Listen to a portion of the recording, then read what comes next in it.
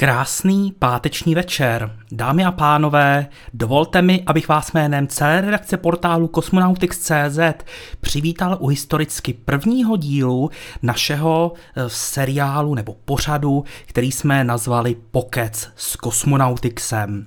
Je to nový formát, takže doufáme, že se vám bude líbit, že si ho oblíbíte a o, čo, o co v tomhle formátu půjde.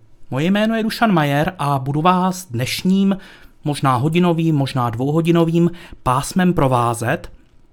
A já chci zdůraznit, že ačkoliv tady dneska budu mluvit já, tak ty otěže toho, co se bude řešit, držíte v rukou vy. Diváci, kteří sledujete náš přenos, protože tohle je živé vysílání, jak vidíte, máme vložený do videa i chat, takže co nám napíšete do chatu, tak o tom si budeme povídat.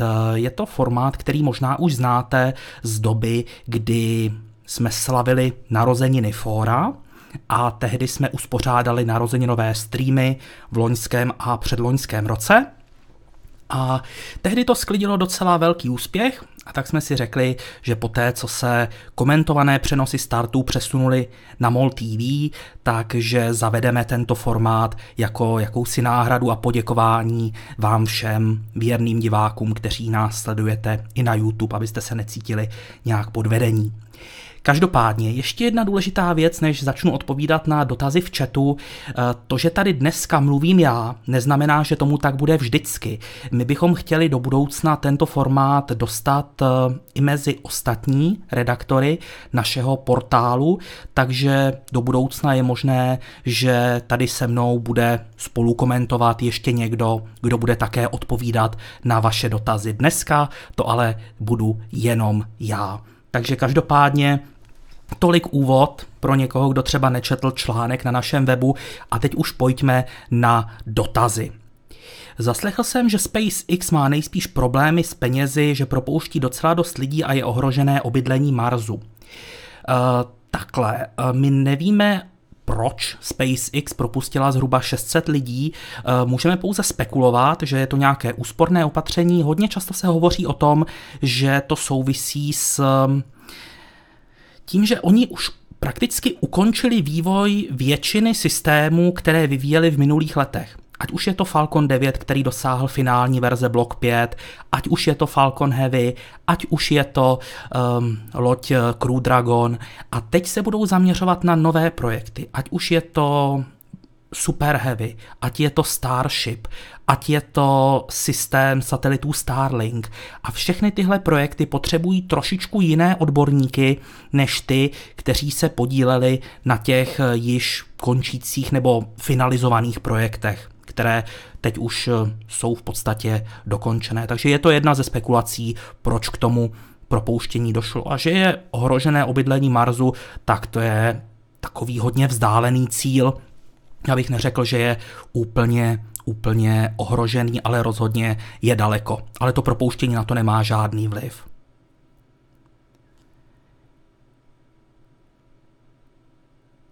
Proč už nestreamujete na YouTube? Jasně. Uh, věděl jsem, že tahle otázka přijde. Uh, každopádně, vím, že se na to chce zeptat hodně lidí, já už jsem to psal několikrát. Uh, každopádně nemám problém to zopakovat ještě jednou. Pokud se tahle otázka ale objeví dneska během toho přenosu ještě někdy, tak se omlouvám, ale už na ní odpovídat nebudu. Odpovím na ní teď na začátku a potom, kdo bude mít zájem, tak si to může dohledat v záznamu. Eh, z YouTube jsme komentované přenosy startu raket přesunuli z jednoduchého důvodu. Eh, začnu ze široka. Protože když to budu komentovat jenom jednou teď, tak ať to máte kompletně se vším všudy.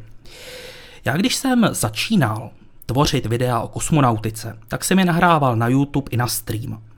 A na YouTube se jim nikdy nějak nedařilo, ale na streamu, tehdy ještě stream umožňoval nahrávat uživatelská videa, tak si jich všiml šéf-producent Lukáš Záhoř. A ta videa se mu zalíbila. Oslovil mě, tehdy to byly vesmírné výzvy, jen tak mimochodem, a nabídl mi možnost, že bych mohl na streamu dělat týdenní pořad o kosmonautice. Z toho se stalo dobývání vesmíru a já jsem se vlastně mohl kosmonautikou, eh, nebo respektive její popularizací živit.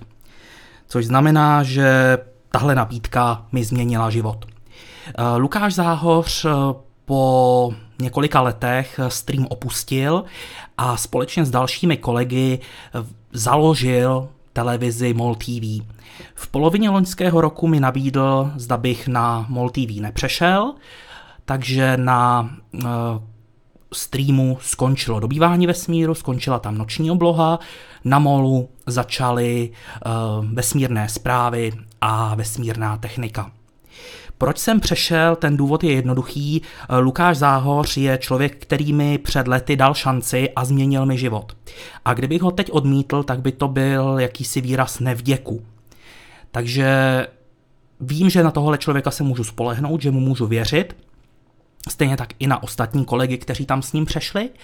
A to je důvod, proč jsem přešel ze streamu na MOL TV. S tím souvisí i přesun eh, komentovaných přenosů. Zástupcům MOL TV se naše komentované přenosy velice líbily, což nás velice těšilo, a požádali nás, zda bychom je mohli vysílat právě u nich. Mě to hodně polichotilo, protože jsem eh, viděl skutečný zájem z jejich strany a jelikož jsem viděl, že opravdu jim záleží, řekněme, na kvalitním obsahu, tak eh, jsem se rozhodl souběžně s tím, jak jsem říkal, že tyto lidi mám naprostou důvěru, tak jsem se rozhodl, že na tu nabídku kývnu. Eh, velkou roli sehrálo i to, že MOL TV má poměrně slušný dosah na sociálních sítích a oni naše přenosy aktivně promují. Já vím, že se to dá změřit jenom těžko, ale na Facebooku našeho kosmonautixu nám vždycky po té zmínce přibyde několik, eh, prakticky desítek nových fanoušků. Eh, od té doby, co jsme začali vysílat na MOL TV, tak eh, jsme na Facebooku přivítali víc než 100 nových tváří. Samozřejmě nemůžeme určit, kdo konkrétně přišel z té mm, promo akce na Facebooku MOL TV, nicméně ta mm, možnost rozšiřování divácké základny tady určitě je. Navíc už při prvním přenosu minimálně dva lidé napsali do chatu, že jsou zde noví, že přenos sledují poprvé, takže cítím tam velký potenciál z hlediska možnosti oslovit eh, nové spektrum diváků, ale každopádně, co je důležité, po technické stránce ty přenosy zůstávají stejné. Vím, že v tom prvním přenosu byly technické problémy, ano, vím o tom, ale byla to výjimečná situace a MOL TV pracuje na tom, aby se tyhle chyby už neopakovaly. Takže to je důvod, proč, jsem, eh, proč jsme přesunuli bylo to tedy z mého rozhodnutí, beru to na sebe, proč jsme přesunuli komentované přenosy z YouTube na MOL TV. Tak, jaký je tady další dotaz? Jsem velmi příjemně překvapen, že na YouTube není úplný konec. Samozřejmě, my už jsme to avizovali uh, prakticky už před několika měsíci. Já tady mám otevřenou otevřenou stránku našeho, našeho webu, můžu to takhle předsvaknout, když tady napíšu změny, tak se podívejte, že 9. října 2018 jsme vydali článek, ve kterém se právě píše o tom, že budu přecházet ze streamu na MOL TV, tady všechny pořady, jak se jich to dotkne, co se změní a tak dále. Vesmírné výzvy mimochodem přešly právě na YouTube, abychom mohli je produkovat ve 4K rozlišení s 60 snímky za sekundu. A je tady i zmínka o tom, eh, že uvažujeme pořád eh, diskuze o kosmonautice. Eh, to je právě pokec s kosmonautixem už právě na začátku října jsme avizovali, že jakmile převedeme eh, přímé přenosy na MOL TV, tak spustíme právě tento diskuzní formát, aby se lidé, kteří dali našemu kanálu na YouTube odběr, tak aby se necítili podvedení. Chtěli jsme jim dát nějakou, řekněme, službu navíc.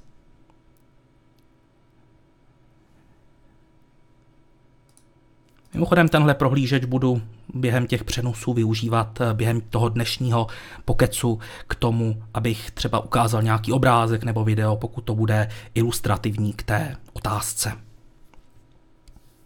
Na rok 2019 jsou plánovány dva nebo tři starty rakety Falcon Heavy. Tak eh, dva jsou jisté a ten třetí spíše ne. Já si myslím, že letos se můžeme dočkat těch dvou startů Falconu Heavy.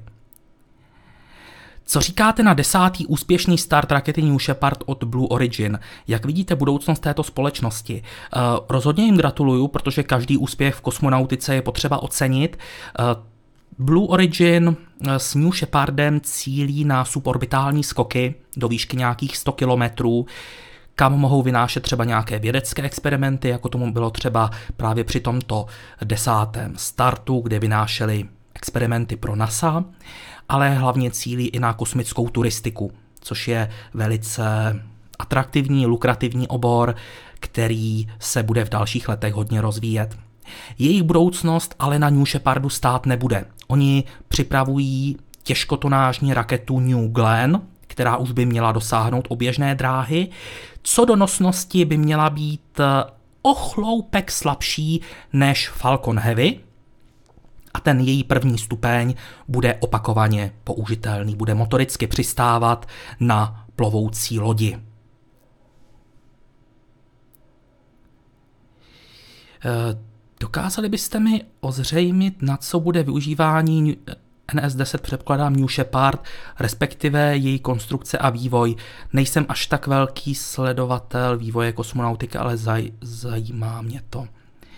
Já už jsem eh, ten New Shepard trošičku popsal. On v podstatě to, že jsem říkal, že je suborbitální, to znamená, že on nedosáhne oběžné dráhy. On jenom vyletí nahoru, ani nesklání čumák k obzoru, ale pouze vyletí do výšky 100 km a pak zase přistane. A samozřejmě to mohou ocenit jak kosmické agentury, které si tam pustí nějaký vědecký přístroj, kterému stačí pouze několik minut ve stavu bez tíže, lidově řečeno, a poté přistane, případně platící turisté to mohou také využít. Díky moc, mám velkou radost, že se vesmírné výzvy na YouTube ujaly.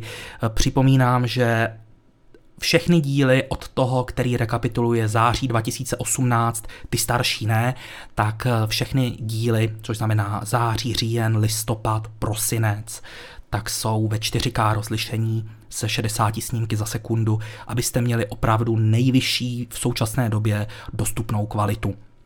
Jinak, eh, pokud by vás to zajímalo, tak dneska jsem začal připravovat text pro lednový díl vesmírných výzev, aby mohl být připravený k premiéře buď to 1. nebo 2. února.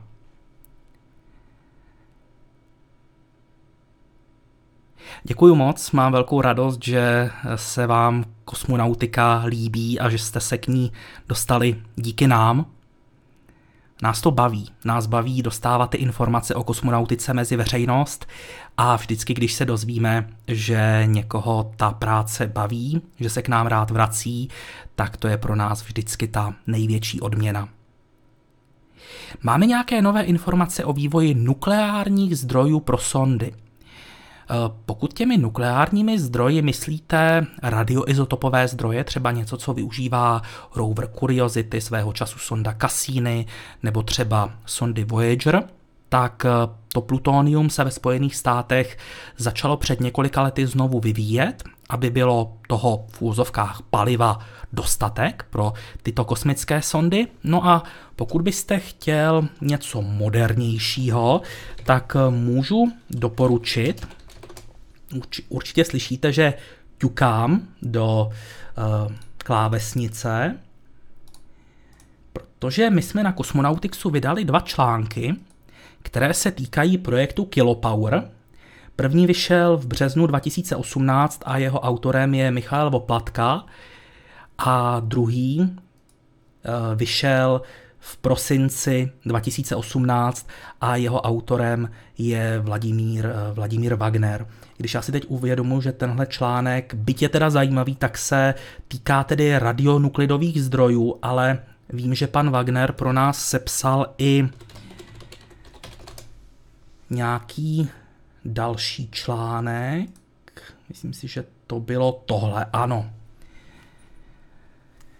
Takže pokud máte zájem o informace o, řekněme, energetických zdrojích pro budoucí kolonie na Marsu, tak mohu doporučit tyto minimálně dva články, případně ten, který jsem ukazoval před chvílí.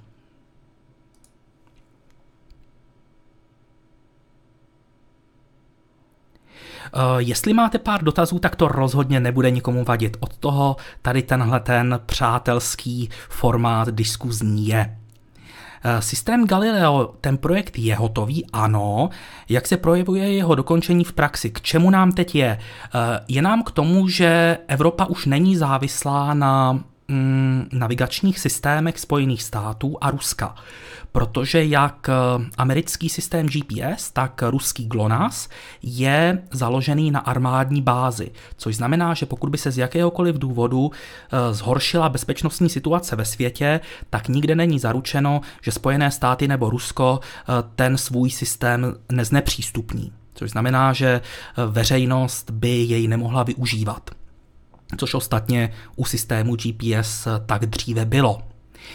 Eh, systém Galileo je jako jediný globální navigační systém založený na otevřené komerční bázi, což znamená, že jej nevlastní armáda, ale mm, řekněme veřejná instituce.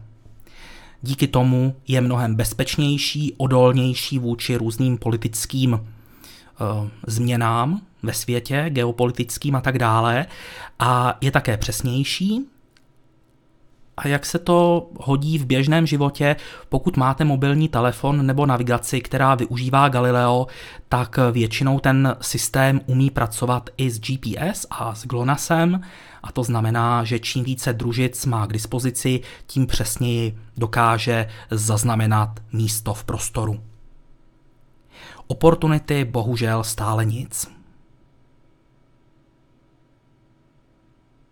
Jaký byl podle tebe nejlepší moment kosmonautiky v roce 2018? Já si myslím, že opravdu Falcon Heavy co do emocí byl Falcon Heavy jednoznačně nejsilnější. To je bez sporu.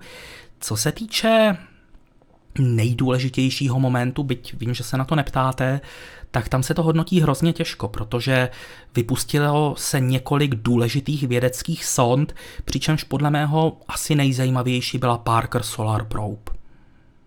Když si myslíte, že je reálné, aby SpaceX otestovali Starship Hopper? No, Musk říkal, že to má být někdy v březnu, zhruba plus minus. Teď jim ta horní část odletěla, takže Musk avizoval spoždění několika týdnů. Já si myslím, že když se to podaří třeba v květnu, ale věřím té první polovině roku pořád, že to nebude později než třeba o velkých letních prázdninách.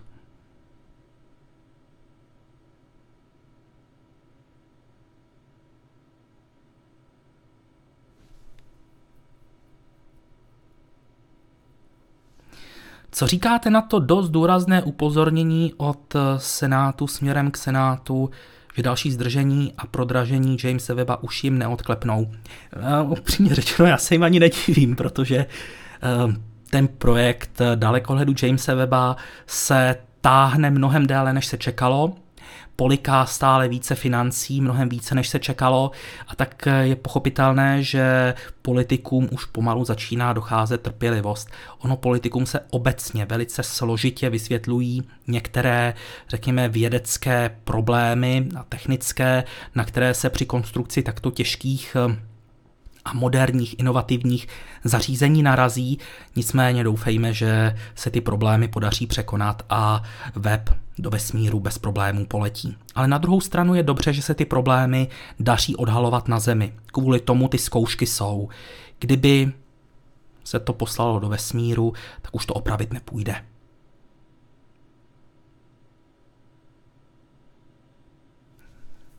Tak momentálně Čekáme na nějaký další dotaz. Vidím, že už je vás tady víc než 150, což je nádherné číslo a všem vám moc děkujeme. Máme radost z toho, jak se první díl ujal.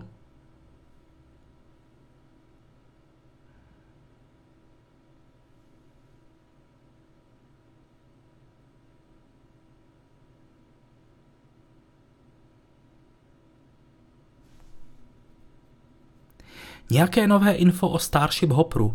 Já jsem na to odpovídal před chviličkou.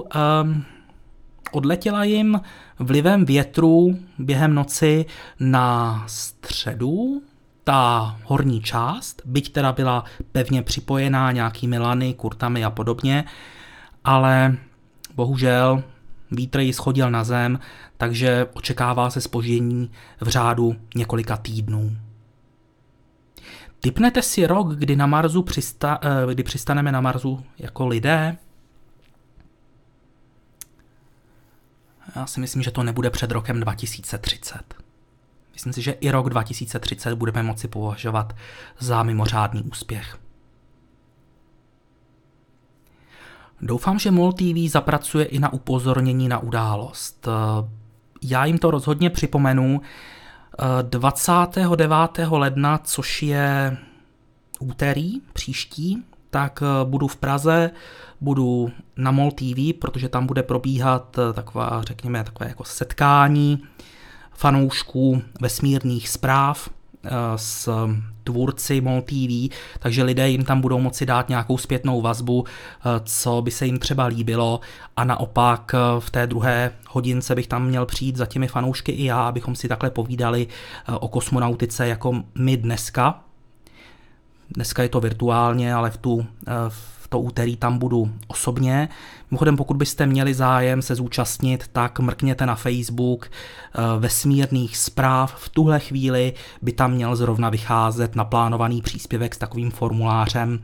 A v případě, že bude hodně zájemců, tak se bude losovat, kdo dostane pozvánku. Jsou nějaké informace ohledně stavu vývoje New Glena? No, upřímně se přiznám, že jsem nic nezaznamenal, kromě toho, že se připravují motory, ale rozhodně si myslím, že Blue Origin není z těch firm, které by se chlubily třeba rozdělanou prací. Myslím si, že oni zveřejní až nějakou větší aktualizaci. Už velmi dlouho jsem neslyšel žádné novinky ohledně britského Skylonu. Projekt je zastavený nebo stále v plném proudu. E, zastavený rozhodně není, pořád se pokračuje. Myslím si, že někdy kolem roku 2020 by mohli začít dělat e, na speciálně postaveném stanovišti statické zážehy celého kompletního motoru. Já vím, že my jsme o tom psali článek, ale to už je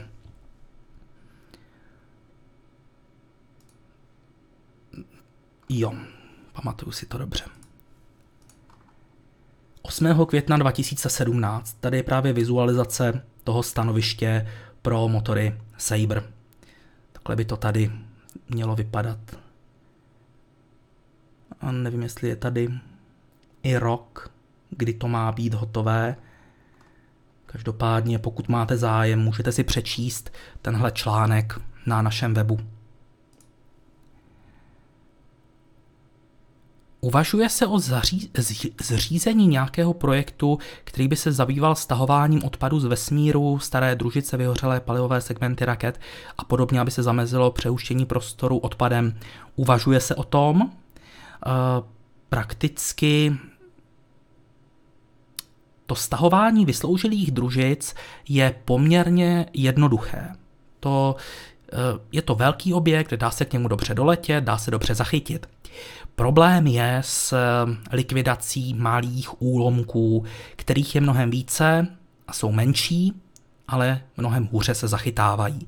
Takže připravují se různé projekty. Evropská kosmická agentura rozjíždí už několik let projekt Clean Space One, takže na jeho základě by měly vzniknout nějaké projekty, které by měly stahovat eh, družice z oběžné dráhy. No a pokud se nepletu, tak eh, už je vybraný i první cíl, který by měl být takhle stažený. V roce 2016 jsme vydali právě článek, to už jsou tři roky, co jsme ten článek vydali, wow, o tom, že vlastně takovýhle likvidátor družic by se měl připojit k vysloužilým satelitům, v tomto případě tedy eh, k Envisatu a měl by je stáhnout z oběžné dráhy.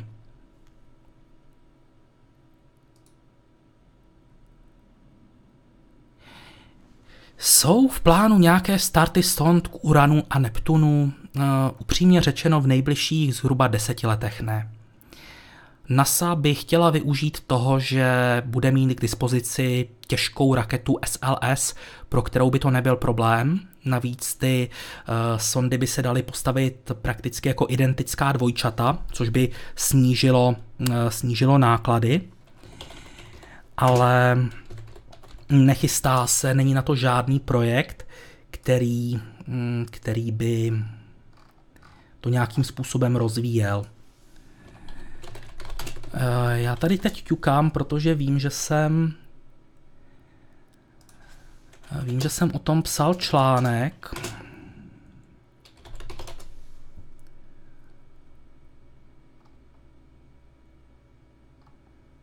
Bohužel se mi to nedaří objevit.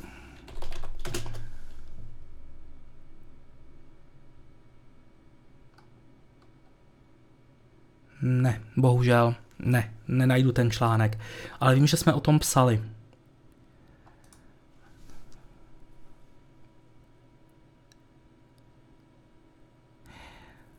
Uh, účast Ruska na Deep Space Gateway velká neznámá. Od té doby, co oznámili, že odstoupí od projektu, tak nebyla žádná aktualizace, ale to bylo pouze politické prohlášení, takže nevíme. Jsou nějaké nové informace o družici vypuštěné misí NRL 71? Uh, zatím nic. Uh, v Evropě, kde je nejvíce pozorovatelů, tak ta družice momentálně není viditelná, protože um, na to, aby byla vidět, tak musí být buď to, um, musí přelétávat buď to krátce po západu slunce nebo krátce před východem slunce a to v tuto chvíli není. Což znamená, že musíme si počkat minimálně pár týdnů. Budou oba díly Starshipu z Nerezy nebo jen ten horní? No, oba díly budou z Nerezu. Dokonce už i ten spodní má na sobě nerezovou vrstvu. Načá- natáčíte informace o noční obloze? Nikoliv, tento pořad byl ukončen eh, s koncem roku 2018. Skončil, vycházel na Stream.cz, ale byla to astronomie, což není můj obor a proto jsem se při přesunu na MOL TV zaměřil čistě na kosmonautiku. Oba pořady, které tam mám, což znamená vesmírné zprávy i vesmírná technika, jsou uh, čistě o kosmonautice. Kam teď letí sonda New Horizons, opouští sluneční soustavu, má únikovou rychlost. Něco nového o tom projektu vyslání mikrosond do cizích soustav pomocí laserů, to je zatím na úrovni sci-fi, o tom se hovořilo ke stému výročí mise Apollo 11, což znamená, že nás to čeká možná za nějakých 50 let.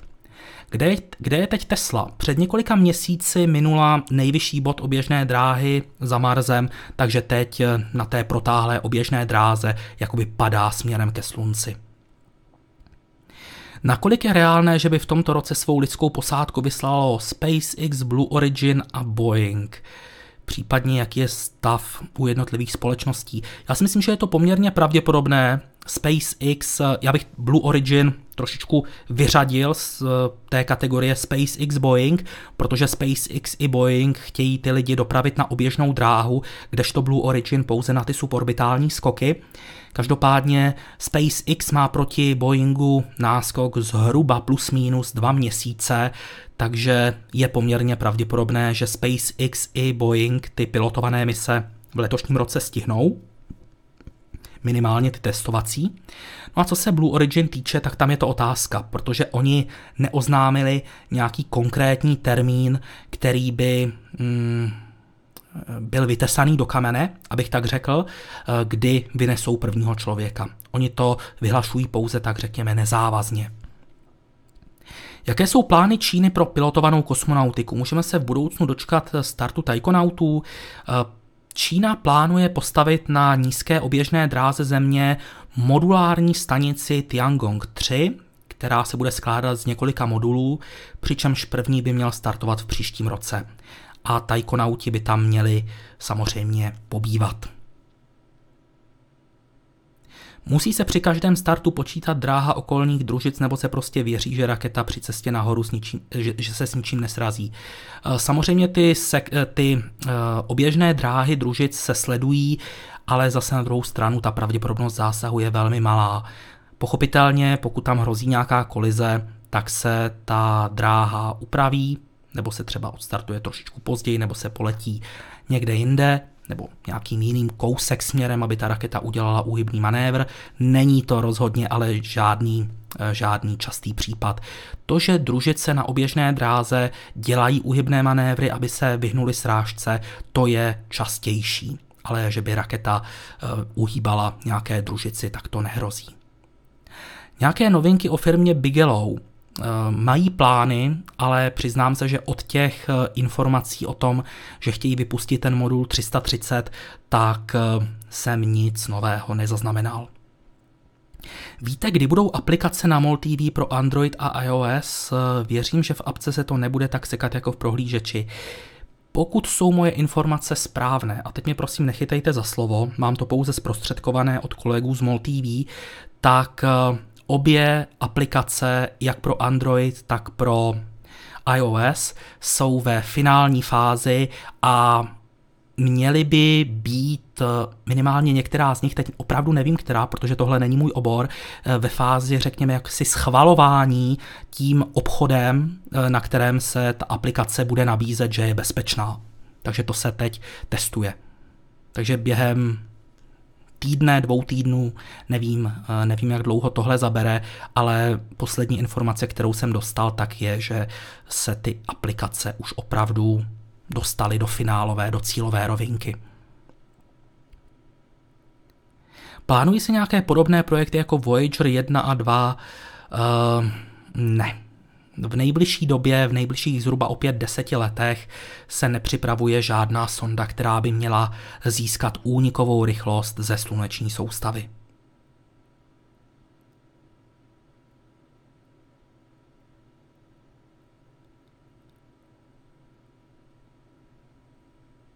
Nevíte, jak velkou část příjmů SpaceX přináší zakázky pro NASA? Myslím si, že vyčíslit to asi úplně nepůjde. Zanedbatelné to rozhodně není a netroufám si odhadovat ten podíl. Myslím si, že to může být třeba 15-20% teoreticky. MOL TV u mě bezpředmětné, radši odběr originálu, hodně štěstí do budoucna, hodně jste mi dali, prodali jste se příliš brzy. My jsme se neprodali, to je první důležitá věc, rozhodně jsme na MOL TV neodcházeli kvůli penězům, možná nám to nebudete věřit, ale když jsme dělali první dva přenosy, tak předtím jsme se s MOL TV vůbec nebavili ani o tom, jestli za to budou nějaké peníze nebo ne, takže rozhodně eh, peníze v tom přechodu z YouTube na MOL TV nehrály vůbec žádnou roli. To vás mohu ujistit. Samozřejmě nemusíte mi to věřit, ale eh, já vím, že vám říkám pravdu. A to mi stačí. Pochopil jsem správně dnešní tweet Ilona, že pokud dopadne DM1 dobře, takže se na DM2 můžeme těšit už v létě? Ano, takový je plán. Eh, DM1 by měla být následována in-flight abort testem, což znamená, že při té zkoušce dojde k aktivaci záchranného systému lodi Dragon za letu rakety Falcon. To by mělo přijít někdy v květnu, no a potom někdy v létě pilotovaná testovací mise DM2. Ostatně vydali jsme o tom dneska článek. Eh, SpaceX míří k nepilotované mu testu Crew Dragonu a když si se scrollujete až úplně dolů, tam, že je to dlouhý článek, tak tady se píše jak o in-flight abort testu, který nás čeká, tak i o DM2, která je plánována na léto letošního roku.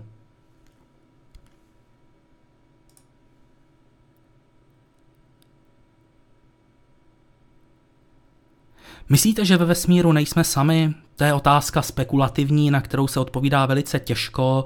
Můžu pouze říct, že z hlediska pravděpodobnosti při počtu galaxií, počtu hvězd, počtu planet, počtu měsíců je velmi nepravděpodobné, že by život vznikl pouze na jednom jediném místě, takže myslím si, že někde ještě nějaká forma života je ale s čím nesouhlasím je to, že bychom někdy s tou cizí formou života jakkoliv přišli do styku. Takže věřím, že někde existuje forma života, ale nevěřím v UFO a podobné věci. Tedy UFO je neidentifikovatelný létající předmět. Když půjdeme spolu do lesa a já vyhodím do vzduchu botu, tak pro vás to bude neidentifikovatelný létající předmět. Takže takové UFO ano, takové existuje, ale často se z něj poté stává IFO, tedy identifi- identifikovaný létající objekt nebo předmět. Ovšem o nějakých létajících talířích nebo něčem podobném, tak to ne, to tomu nevěřím.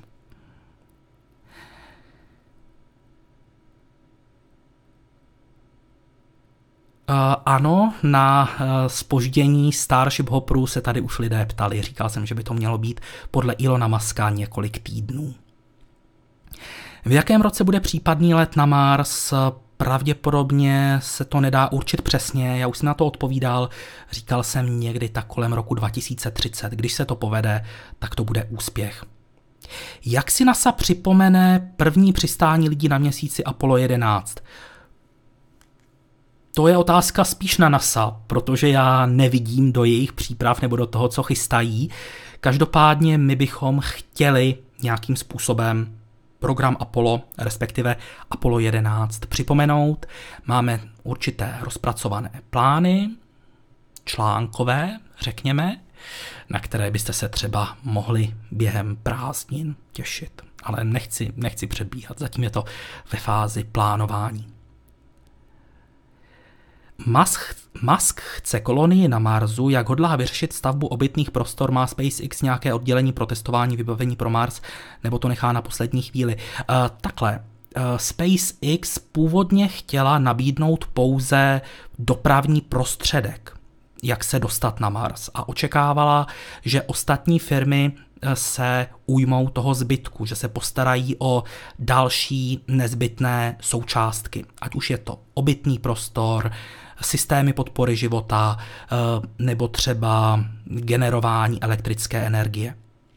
Jenomže Elon Musk před eh, rokem zhruba říkal, že je zklamaný z toho, že na to ostatní firmy nereagovaly tak, jak čekal, takže SpaceX bude muset některé věci zřejmě začít řešit sama. Nespecifikoval které, nicméně Dá se očekávat, že něco vyvine SpaceX, něco nějaké další firmy. Nicméně pořád se bavíme o tom, že je to docela, docela daleko. Co ruská kosmonautika a nějaké zajímavé mise projekty v následujícím roce nebo horizontu let? Eh, pokud vám bude stačit eh, ne čistě ruský projekt, ale projekt, na kterém se Rusko podílí, tak už příští rok by nás měl čekat start evropsko-ruské mise ExoMars 2020, která má na povrch Marsu vysadit šestikolové vozítko, ta přistávací plošina bude ruská a to vozítko bude evropské a bude pátrat po stopách života. Přičemž na té ruské přistávací plošině bude několik vědeckých přístrojů, které budou fungovat i po přistání a bude mezi nimi i český přístroj VAM, který bude pracovat, eh, eh, bude měřit, řekněme, elektrická pole v atmosféře. To je takový nejzajímavější projekt v nejbližších letech, na kterém se Rusko podílí. Jinak ruská kosmonautika je momentálně v poměrně hluboké krizi, ze které se už několik let snaží vyhrabat, nicméně z těch vědeckých misí tam to moc nejde.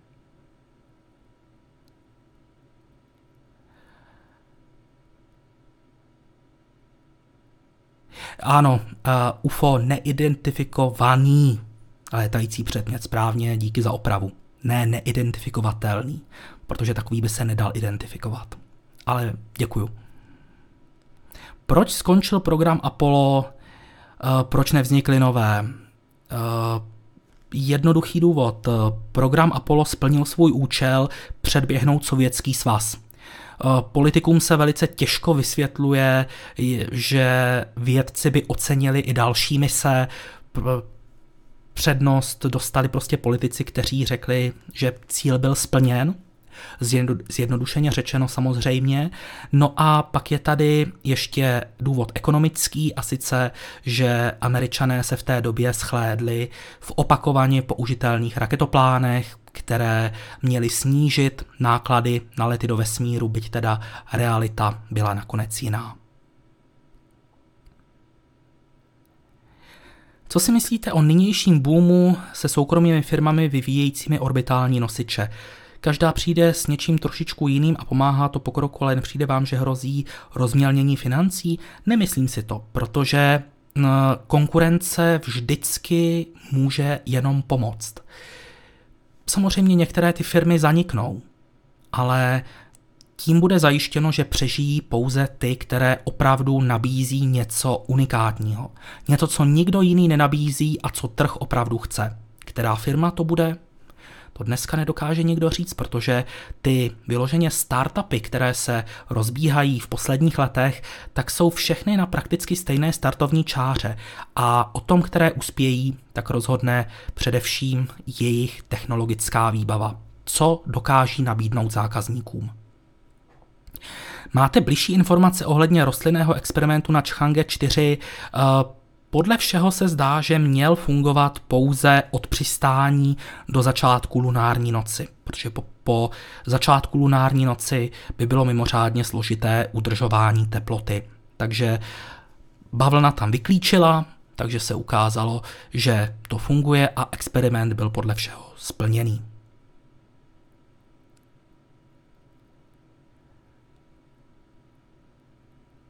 Bude vesmírný hotel? Já teda nevím, o čem mluvil Farky, ale vesmírné hotely se plánují už několik let, možná i desítek let.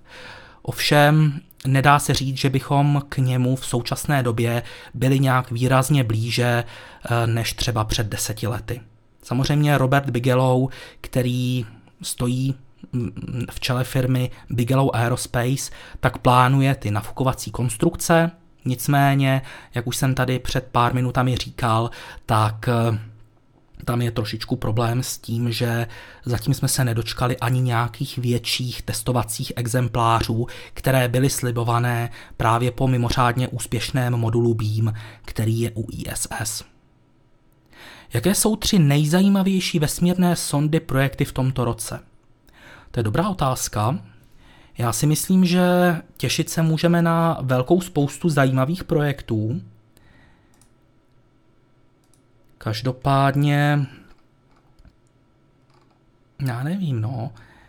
Otázka je, co je zajímavější. Jestli lunární mise Chandrayaan 2 nebo uh, indická eh, nebo čínská mise Chang'e 5. Obě míří na měsíc, zatímco Indové chtějí mít balíček eh, oběžnice, přistávací modul vozítko, Číňané zase chtějí odebrat vzorky z měsíce a dopravit je na Zemi.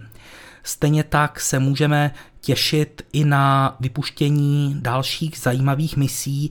Eh, myslím si, že velice zajímavý bude třeba start evropské družice nebo teleskopu Cheops, který by měl studovat eh, již objevené exoplanety. Tak uvidíme, uvidíme, jak to dopadne.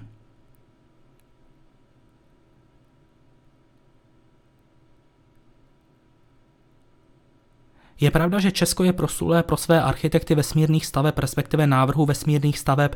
Je pravda, že Češi se v tomto oboru prosazují, ale zase neznamená to, že by ostatní národy v tom nějak zaostávali. Myslím si, že Češi se drží ve špičce v tomto oboru, ale není to tak, že bych Češi třeba utekli o opárník konkurenci.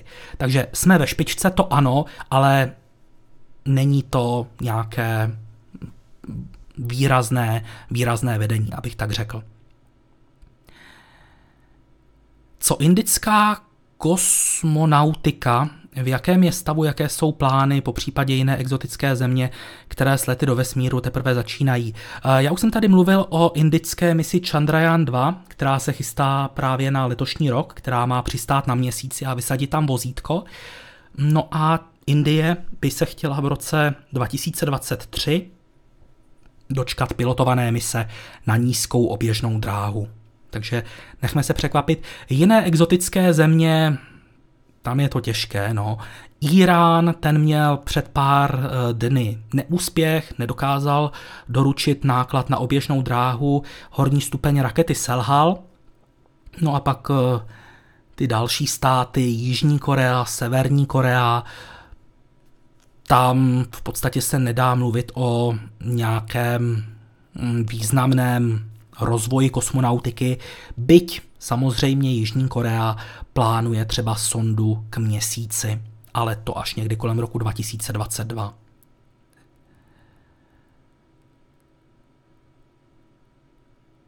Jak se vám líbil rozhovor se Standa Show? Já jsem byl spokojený, bylo to takové povídání, které strašně rychle uteklo a dostali jsme se ke spoustě úžasných otázek, ať už od moderátora nebo od publika, takže rozhodně velice zajímavá zkušenost.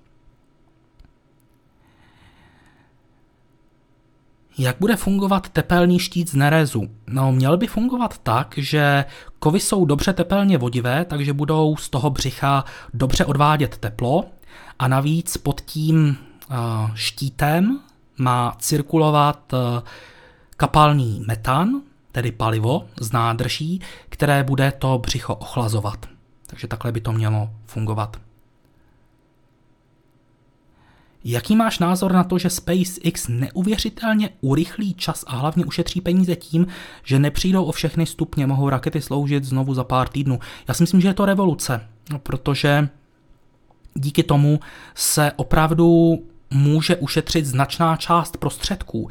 Vezměte si, že plně natankovat Falcon 9 stojí nějakých 500 tisíc dolarů, což není málo, ale vyrobit jeden motor Merlin stojí podle neoficiálních odhadů 1,5 až 2 miliony dolarů. Přičemž na prvním stupni je těch motorů, je těch motorů 9. Takže když přistaneme s prvním stupněm, na kterém je 9 motorů, tak rázem se nám na Zemi vrátilo nějakých zhruba plus minus 15 nebo 18 milionů dolarů. Na kterou planetu, jestli vůbec chcete duša neletět? Já nechci letět nikam, já chci zůstat na Zemi. Ale třeba na oběžnou dráhu Země bych se rád podíval, ale na planetu ne. Znáte soutěž Kansat? Pokud máte na mysli takovou tu družici, která má mít tvar plechovky, tak ano, slyšel jsem o tom a vím, že v současné době na tom pracují studentské týmy, z nich některé jsou i z České republiky. Jsou nějaké informace, zda američané rozpracovali modul Altair, než zrušili Constellation, nebo budou muset začít od nuly, až budou chtít zpět na povrch měsíce. Altair byl ze všech součástí projektu Constellation nejméně rozpracovaný. A až se budou američané vracet na povrch měsíce, pravděpodobně tedy ze stanice DSG, která kolem něj bude obíhat, tak využijí s velkou pravděpodobností inovativních landrů, přičemž nedávno představil jeden takový lander eh, Lockheed Martin. Které všechny státy mají vlastní kosmický program? To bychom tady byli asi hodně dlouho a já bych určitě na někoho zapomněl. Eh, Spojené státy, Rusko, Evropská kosmická agentura, ale v, v ní má i vlastní kosmický program Itálie, Německo, Velká Británie, Francie, pak ještě mimo Evropu Jižní Korea, Severní Korea, Japonsko, svého času se snažila Austrálie, Nový Zéland ne tak úplně, protože samozřejmě startují o tu rakety Electron, ale ty provozuje firma Rocket Lab a ta je americká firma, takže Nový Zéland jen tak na půl. No, svého času se snažila Brazílie, Indonésie, samozřejmě Indie, o které jsem už mluvil, Irán, Izrael. A já doufám, že jsem na nikoho nezapomněl.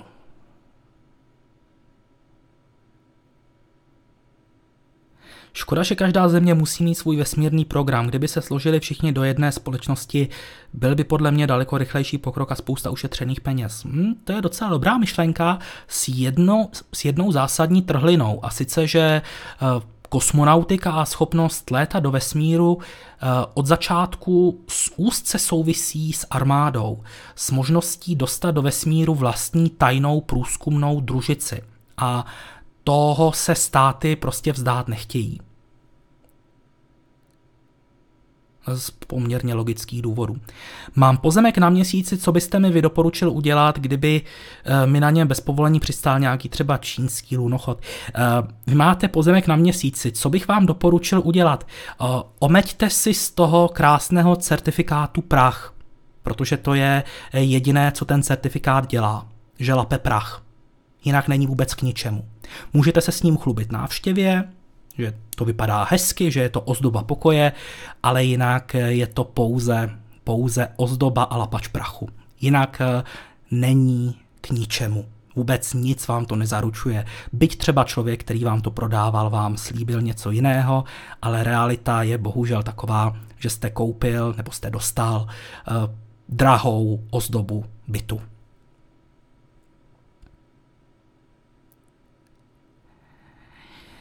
Myslíte, že někdy v minulosti navštívili Zemi nějaké mimozemské civilizace? Nevěřím tomu. Eh, snad vývoj půjde dopředu, na oběžnou drahu bych se taky rád podíval. Zajímalo by mě názvy startovacích komplexů 39A nebo SLC 40, to jsou nějaké zkrátky nebo proč tyhle čísla. Eh, je to tím, že v podstatě na východním pobřeží Spojených států vzniklo těch ramp celá řada a bylo potřeba je nějak odlišit a proto se zvolila právě čísla. Jak je na tom s vývojem raketa Ardea, slovenská suborbitální raketa? Přiznám se, že informace o tomhle nosiči nemám, nicméně pokud vám mohu něco doporučit, tak na podzim se ve Valašském mezříčí koná seminář o raketové technice, a protože je blízko Slovenska, tak tam velice často jezdí i odborníci právě ze Slovenska, ať už je to třeba Jakub Kapuš, anebo pan Čaba Boroš který se právě podílí na vývoji rakety Ardea. Takže pokud máte zájem, můžete tam zajet a zeptat se ho osobně. Bývá tam velice často. Případně je velmi pravděpodobné, že bude i v Pardubicích na Cosmos News Party, která se koná... Haha. V dubnu nebo v květnu? Každopádně, pokud si zadáte do Google, nebo vždyť já tady přece Google mám, takže není problém, já vám to můžu rovnou ukázat. Kosmos News Party 2019 a už vám to můžu dokonce i ukázat. 26. až 28. dubna 2019 v Pardubicích v hotelu Trim. Takže pokud máte zájem o účast, a vy to nevidíte kvůli četu, takže já vám ho na chviličku vypnu, můžete se přihlásit na největší středoevropské setkání fanoušků kosmonautiky, na kterém v pátek, v sobotu a v neděli probíhají přednášky věnované kosmonautice.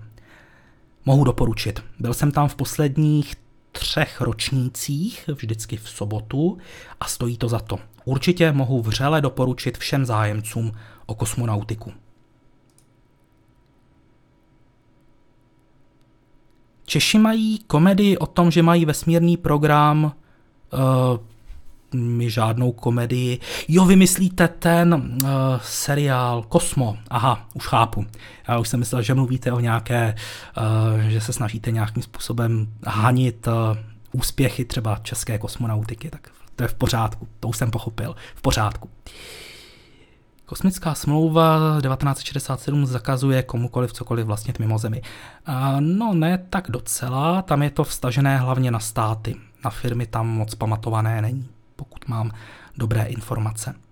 Sporu, spolupracujete na nějakém CubeSatu, co by měl být, co by měl, co by měl by byl plánován do vesmíru. Uh, jako my, konkrétně jako Cosmonautics, v žádném případě.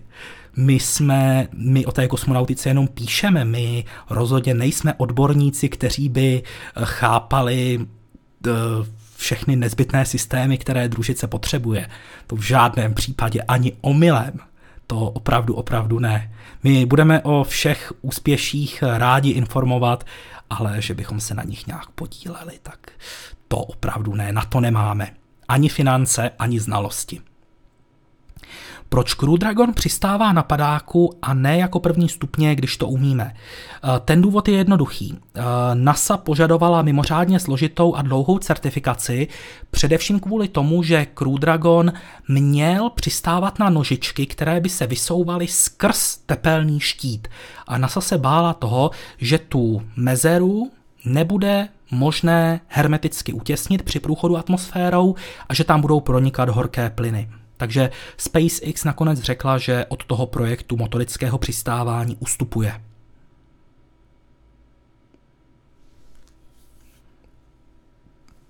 Má, má v plánu SpaceX podobný počet startů jako minulý rok, nebo tempo startu malinko klesne. Ten počet startů rozhodně nebude větší, bude v nejlepším případě stejný, ale pravděpodobně o pár startů méně.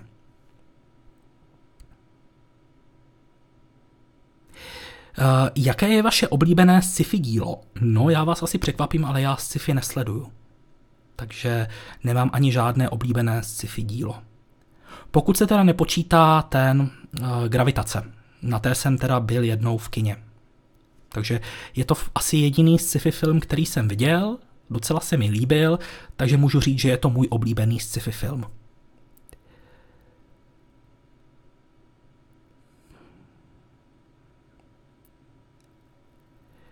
Tak bych měl dělat aspoň reklamu. No my, my taky děláme reklamu všem, kteří se snaží o pronikání do vesmíru, píšeme o nich články a když o sobě dají vědět, vydají nějakou zajímavou zprávu, tak určitě ji rádi zveřejníme. To stoprocentně.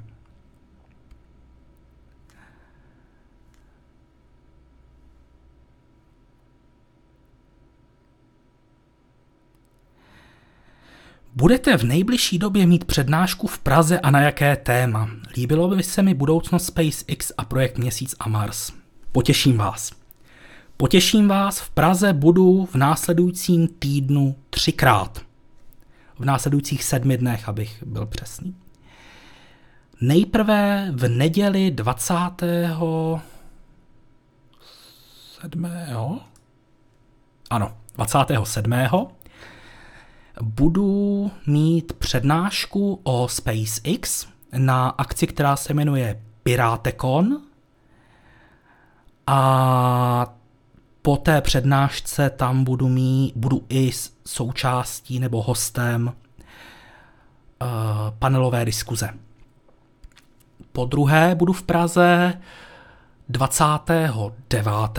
tedy v úterý to bude to setkání s fanoušky vesmírných zpráv eh, na MOL TV, o které jsem mluvil před eh, pár desítkami minut. Připomínám, pokud máte zájem, nebudu to už eh, rozvádět déle, takže jenom telegraficky, mrkněte na Facebook vesmírných zpráv, před zhruba půl hodinou tam vyšel naplánovaný příspěvek s informacemi o tom, jak se můžete tohle setkání zúčastnit. No a konečně po třetí tam budu příští sobotu, což znamená 2. února. A to budu na akci, která se jmenuje Pragofest, Prago FF Est, jo, jsou tam dvě F, Pragofest. A tam budu mít přednášku o misi Osiris Rex.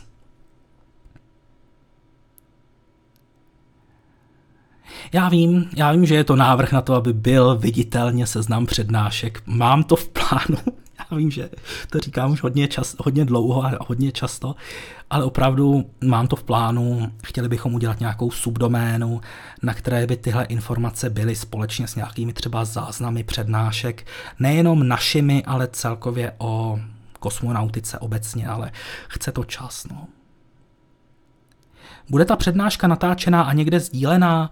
Eh, já ani jednu z těch akcí nahrávat nebudu. Nicméně, zda něco natočí přímo organizátoři, nemůžu za ně mluvit, nevím. Vzletí tento rok nějaká úplně nová raketa? Vzletí, dokonce nebude jenom jedna. Já vám můžu dokonce doporučit, abyste se mrknul na náš web. A my tady máme anketu. No, pardon. Ne, nechci hlasovat. Archiv anket. tak tady hlasovali lidé, na jaký moment roku 2019 se těšíte nejvíce. A tady vidíte, že jsou tady i první starty nějakých nových raket. Třeba Launcher One, eh, SSLV, opět třeba indický nosič, další nová raketa Vega C, evropská nová raketa, velice zajímavá, která stojí za pozornost, Vector Air, Firefly Alpha, to jsou nosiče, které by se v letošním roce měly dočkat premiéry. Ještě mi prozraďte, pokud můžete, jak je váš web financován. Příspěvky, přednášky nebo volný čas nespolupracujete s dalšími vědeckými organizacemi? Nespolupracujeme. Uh, takhle, eh, web je financován z mojí kapsy, přičemž eh, oni ty náklady nejsou tak velké, je to pouze jednou ročně zaplatit hosting a doménu. Na tomto místě musím poděkovat hostingu, na kterém náš Cosmonautics běží. Je to blueboard.cz. Máme tam perfektní podmínky, protože eh, člověk, který eh, nás má na starosti, tak je fanda kosmonautiky a vyjednal nám naprosto perfektní podmínky, starají se o nás, aby hosting šlapal i na i v náročných podmínkách z hlediska návštěvnosti. Přesunuli nás dokonce na mini server, protože už sdílený hosting eh, přestal stačit, vyrostli jsme nad jeho možnosti a přitom se nám eh, náklady, tedy platby, nezvýšily. Takže tohle je velké poděkování pro Blueboard. Takže tohle to jsou jediné náklady, které my eh, z hlediska hostingu máme. A co se týče přednášek, tak ano, z přednášek mám nějaké peníze, pokud přednáším pro neziskovku, pro školu a tak dál, tak mám jednotnou cenu 4 koruny za kilometr. Přičemž jezdím z Jihlavy, takže uh, Není to, není to moc. Samozřejmě pokud je to nějaká akce eh, většího rázu, na které se třeba platí vstupné, tak tam s těmi organizátory jednám třeba o nějakých jiných sumách a tak dál. Nicméně mm, pro neziskovky opravdu za 4 koruny za kilometr. Eh, příspěvky od eh, čtenářů nechceme, protože my to neděláme pro peníze. My rádi předáváme informace o kosmonautice dál a pokud nás chcete podpořit, pokud nám chcete pomoct, tak nás doporučte svým známým, sdílejte naše články, lajkujte nás na Facebooku, tím nám uděláte mnohem větší radost. Neříkám, že se třeba za, já nevím, pět let, deset let ta situace nezmění, nebo za rok, já nevím. Může se, v životě každého z nás se může stát spousta věcí, které člověk dopředu neplánuje a možná názor změníme. Ale momentálně chceme udržet chod webu naprosto bez finančního podílu čtenářů. Myslím si, že když nám to fungovalo tolik let, prakticky už skoro sedm let, tak to takhle může fungovat i dál. Samozřejmě nemůžu vědět, co přijde třeba za pět let, ale dokud to půjde, tak chceme ten web udržet, eh, řekněme, v tom neziskovém sektoru internetu. Pokud by se, se ta situace změnila, tak spíše než cestou nějakých reklam placených, bychom šli asi cestou crowdfundingu, tedy financování od čtenářů, ale znovu říkám, že tohle není na programu dne. V jaké vývojové fázi je raketa SLS, kdybychom se měli dočkat startu? Eh, je v poměrně pokročilé vývojové fázi, už se vyrábí letový hardware pro první dvě ostré mise a první start by mohl přijít v létě příštího roku. Jaký aktuální projekt vesmírný vás nejvíc zajímá a proč? Jaký by stál za to, ale zatím se nechystá? Dobrá otázka.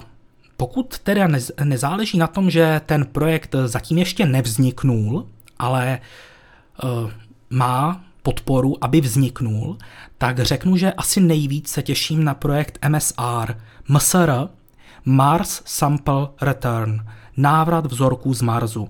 Eh, řetězec několika misí, které by měly dopravit na Zemi do pozemských laboratoří vzorky z Marsu, aby mohly být v těch laboratořích analyzovány. Jaký by stál, jo, mělo by to být, eh, ty vzorky by měly být na Zemi do roku 2030.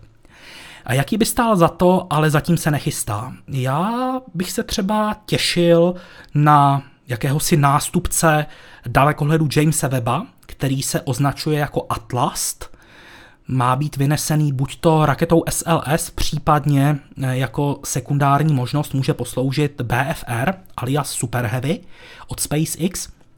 No a to je teleskop opět s primárním zrcadlem skládacím, podobně jako dalekohled Jamesa Weba, s tím rozdílem, že Web má mít zrcadlo o průměru nějakých 6,5 metrů, přičemž Atlas by mohl mít něco kolem 15 metrů průměr primárního zrcadla. Ten projekt je zatím spíše jen tak teoretický, vůbec není jisté, zda se někdy realizuje, ale to by se mi třeba líbilo.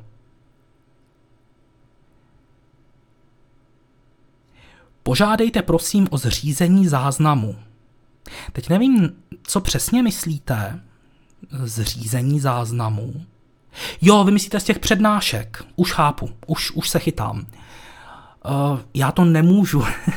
já nemůžu organizátorům uh, dávat takovéhle samozřejmě pokud je požádám, tak je na nich, aby vyšli vstříc nebo, nebo nevyšli, ale já vím, že organizátoři mají často svých starostí dost a ještě, aby zajišťovali záznam, je to další starost navíc, znám to sám.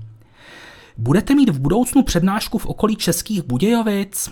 Já si myslím, že ano, protože když jsem ve středu přednášel v Českých Budějovicích, tak eh, jsme se už tak předběžně domlouvali, že zase někdy eh, v zimě což znamená zhruba tak za půl až tři čtvrtě roku bych zase do té jeho české metropole mohl přijet.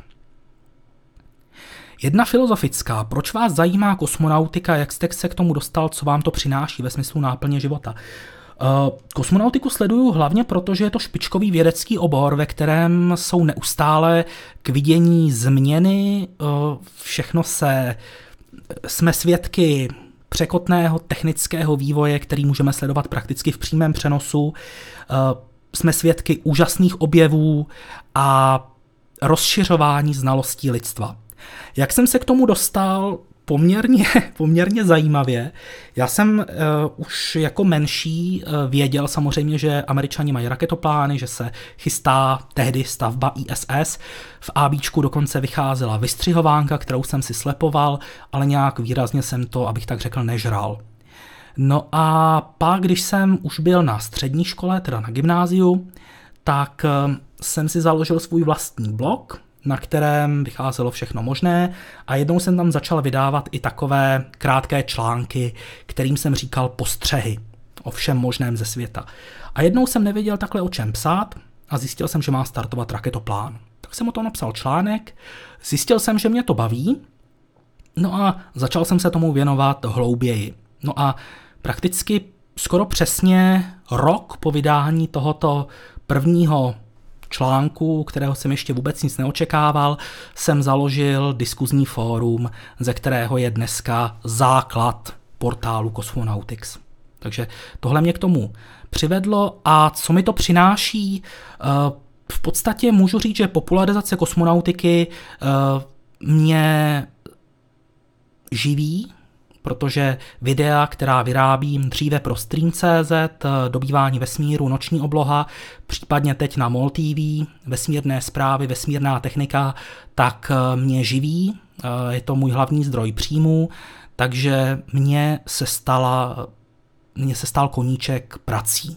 Takže říká se, že takoví lidé jsou nej, nejšťastnější a já si rozhodně nestěžuju. Takže kosmonautika mi v tomhle směru dává hodně, ale i celkově, pokud se podíváme tím, řekněme, eh, ne materiálním směrem, tak eh, mě velice těší, když vždycky vidím, že vydáme nějaký článek a lidé o něj stojí, čtou si ho a třeba ho i chválí. To je obrovská odměna a jakési zadosti učinění, že ten čas, který jsme třeba věnovali tomu psaní, takže prostě nebyl marný. Koupil jsem si Reach, mohu do vesmíru? Nevím, jestli Reach je zrovna dobrý prostředek nebo dobrá vstupenka do vesmíru, ale tak jako myslím si, že vlastnictví Ríče ještě nikoho uh, nevyřadilo z potenciálního okruhu kosmonautů, takže to, že máte Ríč, nějak vám to nepomůže, ale taky vám to ani nějak neublíží. Nějaký fond pro další fungování, kam by člověk mohl poslat pár drobáků, aby bylo pojištění pro další fungování. Uh, když to funguje sedm let, tak uh, to bude fungovat i dál. Pokud by nastala nějaká změna, o které píšete, tak eh, věřím tomu, že kdybychom fanoušky, čtenáře oslovili, že se situace změnila a že potřebujeme nějaké finanční prostředky na cokoliv, tak věřím, že komunita by zareagovala relativně rychle a nechci vytvářet zatím nějaké fondy, protože Jednak je to zavazující, jednak jsou s tím problémy po administrativní stránce. Eh, ne, zatím se těm penězům chceme maximálně vyhnout. Jaké spoždění má vlastně web? No pokud se nepletu, tak měl startovat v roce 2008 původně.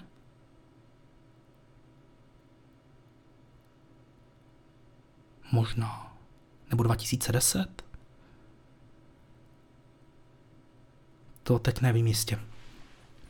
Věnoval jste se někdy raketovému modelářství? Nevěnoval, já chci mít eh, všech deset prstů. Já samozřejmě vím, že raketové modelářství může být bezpečné a spousta lidí to dělá na velmi dobré úrovni, nicméně moje manuální zručnost eh, stačí tak na přitlučení hřebíku do zdi a raketové motory od toho si udržuju zdravý odstup. Vím, kde jsou moje možnosti a kde jsou moje limity. Jo, odpověděl jsem tím, že se kosmonautikou uživím. Ano, hlavní zdroj příjmů jsou pro mě videa, která tvořím dříve pro Stream.cz, dneska pro MOL TV. Ale samotný Cosmonautics funguje, řekněme, na té volné bázi bez peněz. Jo, vodní raketu, no tu jsme odpalovali, to jo, to, ale to jestli se dá považovat úplně za raketové modelářství.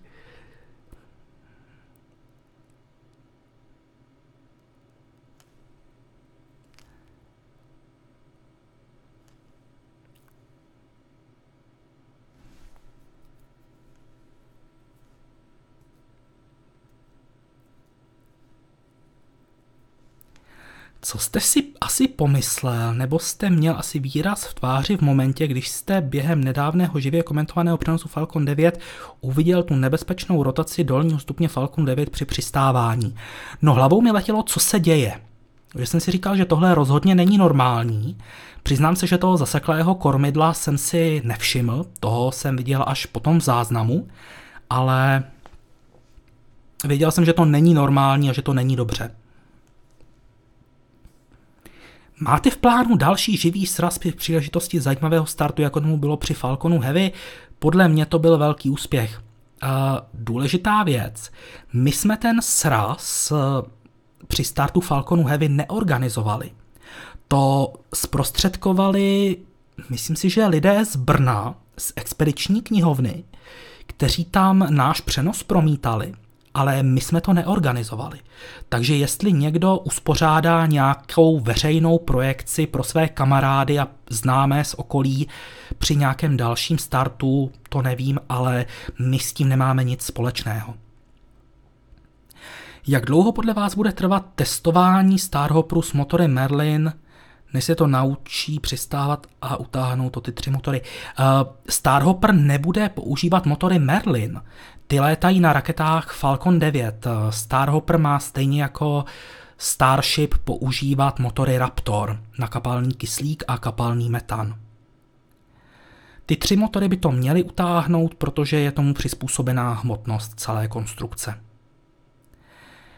Jaká je nejčastější vysoká škola obor lidí, kteří dělají v kosmonautice? No, ideální je, když se člověk třeba věnuje opravdu technickému oboru, což znamená programování, strojírenství, eh, materiálové inženýrství. perfektní průpravou je třeba vysoké učení technické, české vysoké učení technické a podobné školy, přičemž myslím, že na ČVUT se dá dokonce přímo kosmonautika studovat.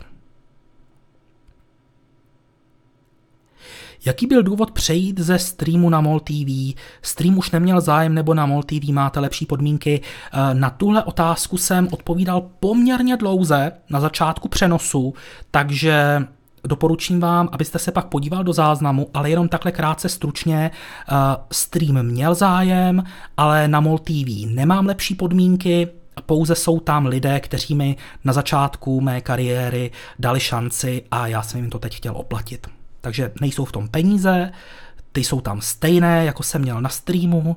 Uh, stream měl zájem, ale přešel jsem na vlastní žádost. Kdy bude další start Falconu Heavy? Pokud se nic nepokazí, tak možná v březnu. Co říkáte na úvahy o bydlení Venuše pomocí létajících vznášejících se měst lodí ve vysokých vrstvách atmosféry? Považuji to za sci-fi. Minimálně v nejbližších desítkách let. Mohu se zeptat, zda je již známo, co se bude dít na setkání Fóra Cosmonautixu, alespoň něco, co je již k dnešku jisté. Eh, původně jsem chtěl zajistit už jako po dva předchozí roky návštěvu nebo exkurzi do jaderné elektrárny Dukovany. Bohužel jsem si ale vzpomněl na to, že bych tam mohl zavolat poměrně pozdě a už mají plno, takže ani letos to nestihneme. Eh, doufejme, že příští rok, to už jim tam snad zavolám včas. Eh, ovšem, rádi bychom, tak jako každý rok, uspořádali pozorování eh, dalekohledy, noční oblohy ať už v pátek, kdy používáme své vlastní teleskopy, vyjedeme kousek za hlavu a pozorujeme oblohu, případně v sobotu vždycky požádáme Jihlavskou astronomickou společnost a oni nám zajistí na bráně Matky Boží v Jihlavě pozorování profesionálním velkým teleskopem i s výkladem. Takže tohle to si myslím, že je prakticky jisté a co bude jako další program, to zatím nevím. Jakou mám školu? No samozřejmě, že se můžete zeptat, na tom není nic tajného. Mám všeobecné gymnázium, eh, vysokou školu nemám. Eh, půl roku jsem byl na Jihlavské vysoké škole polytechnické, kde jsem studoval obor cestovní ruch. Nicméně zjistil jsem, že to není pro mě a odešel jsem, opustil jsem vlastně školu na vlastní žádost, byť jsem teda všechny zkoušky splnil po tom prvním semestru, ale zjistil jsem, že tohle prostě pro mě nemá budoucnost a přes ehm, snahu dělat ehm, finančního poradce, což byla asi největší hloupost mého života, eh, přes ehm, eh, redaktora v regionální televizi, eh, jsem se dostal ke kameře, ke střihu, no a odtud už byl prakticky jenom kousek k tomu, abych začal dělat videa o kosmonautice. Takže si myslíte, že s robotikou a kybernetikou z ČVUT se mohou v oboru uplatnit? Já si myslím, že ano, eh, ale každopádně musíte být aktivní. Musíte se už třeba během toho studia nějakým způsobem aktivně podílet na různých třeba soutěžích, ehm, na nějakých výměných pobytech, na stážích, v odborných střediscích, případně navázat eh, spolupráci s nějakou odbornou firmou, která vás poté může po té vysoké škole zaměstnat. Ale abyste prostě s tímhletím nečekal až na ukončení školy. Jsou již dobře proskoumány vzorky půdy z měsíce, aby se daly eh, v osídlení použít pro výrobu všeho potřebného? Eh, na některé vzorky z měsíce se ještě vůbec při analýze nedostalo. Stále se čeká na dokonalejší a dokonalejší přístroje. Samozřejmě my už máme velice dobrou představu, ale bylo by takové trošku nehospodárné vyplýtvat všechno hned a za pár let bychom eh, měli už třeba lepší analytickou techniku, ale neměli bychom co zkoumat. Eh, měsíc nám rozhodně nedokáže nabídnout úplně všechno, co potřebujeme k životu. Samozřejmě v těch trvale zastíněných kráterech je třeba vázána voda, která se dá použít, ale některé prvky, které jsou potřebné k životu, tak na měsíci buď to vůbec nejsou, anebo jsou tam zastoupeny mnohem méně než na Zemi.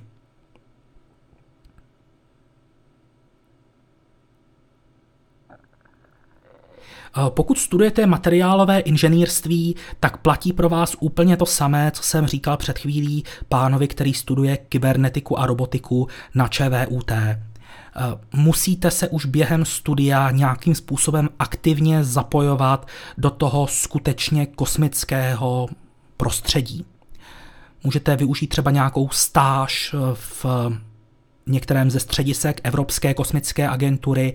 Česká republika je členem ESA, takže ty dveře jsou otevřené i českým studentům. Eh, rozhodně neseďte v koutě, buďte aktivní a určitě, určitě se to vyplatí. Jaký je stav ISS, dokdy má tato stanice v tuhle chvíli fungovat a bude se její životnost prodlužovat? Eh, životnost stanice z hlediska certifikace je do roku 2032, Jenomže pokud ty moduly budou v dobrém technickém stavu, tak je možné je recertifikovat na delší životnost. Eh, druhou stránkou je životnost finanční, tedy jak dlouho budou agentury chtít platit provoz stanice. Zatím má stanice zajištěné fungování do roku 2024, přičemž ta životnost se vždycky prodlužuje o čtyři roky a vypadá to, že by se mohla prodloužit do roku 2028 a za několik let se zase bude jednat o dalším prodloužení.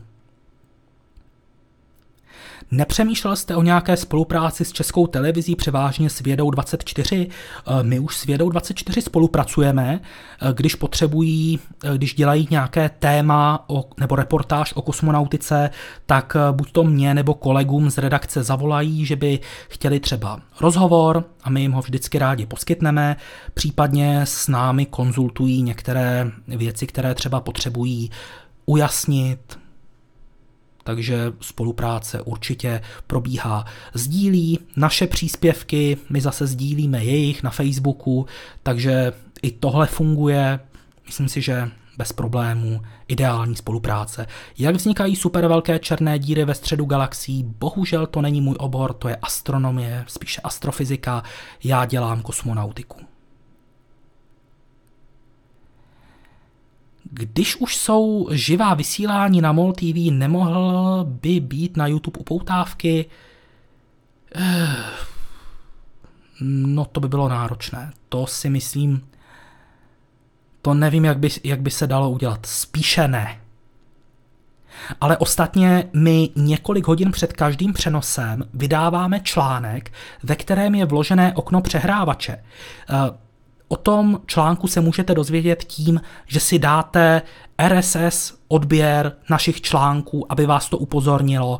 Můžete sledovat náš Facebook, tam se můžete přidat ke všem událostem, které, eh, které chceme živě vysílat, takže ta možnost, jak být upozorněný na start, těch je tady hodně. Podle mě, kdyby přistával Falcon 9 i se zaseklým kormidlem na plošinu nebo na pevninu, i tak by dokázal přistát. Možná zbytečně ho navedli nad moře. Ehm, to je sporné. To je sporné. Oni sice dokázali tu rotaci skoro zastavit, ale ta hybnost tam pořád zůstala. Je to pouze stejné, jako když eh, třeba krasobruslář při piruetě dá ruce k sobě anebo je roztáhne. Eh, tady Falcon roztáhl nohy, takže ta rotace poklesla, ale ten moment hybnosti tam byl pořád. Já mám strach, že kdyby přistáli třeba na plošinu nebo na, na betonovou plochu, tak ten krut by tam byl pořád.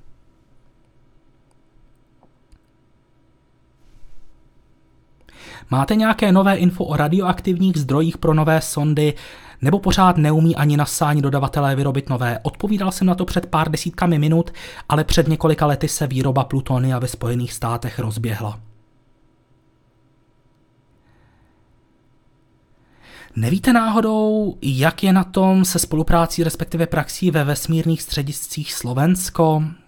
Studuju materiálové inženýrství na Slovensku. Uh, přiznám se, že nevím, ale zkuste se obrátit třeba na své krajany ze slovenské agentury pro vesmírné aktivity SOSA.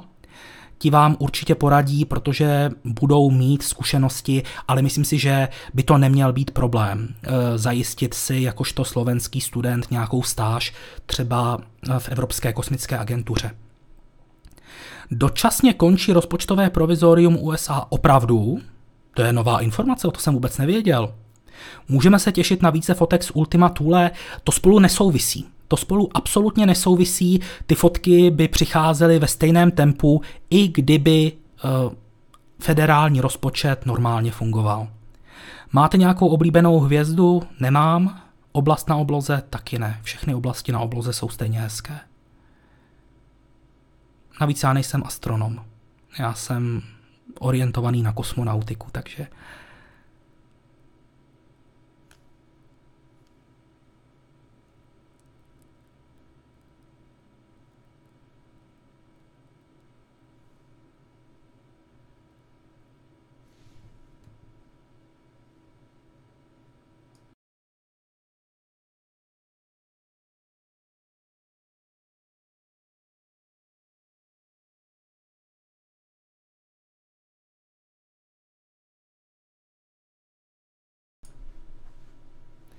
Která koule se vám líbí více? Ultima nebo Thule? Já si myslím, že Ultima bez Thule by nebyla tak zajímavá a Thule bez Ultimy by taky nebyla zajímavá. Takže mně se líbí Ultima Thule. Baví vás focení? Přiznám se, že fotit neumím, nikdy jsem se o to nesnažil. Já jsem, když už se záznamovou technikou, tak jsem pracoval s kamerou. Má být konec světa už zase? Teď už jsme jich přežili několik. Co to bude tentokrát?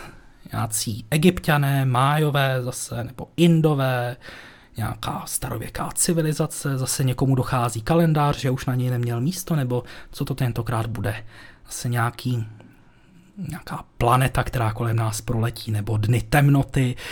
Ty možnosti konců světa jsou úžasné, jak jsou lidé kreativní a co všechno dokážou vymyslet.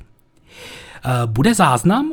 Eh, no určitě. Všechny přenosy jsou eh, všechny přenosy jsou archivované, takže kdokoliv přijde později, tak si bude moci tohle povídání pustit, včetně záznamu četu. Raději housky nebo rohlíky? Housky asi. Dotaz k dotazu. Při odběru je možnost zvolit si také to upozornění před živým vysíláním na telefonu.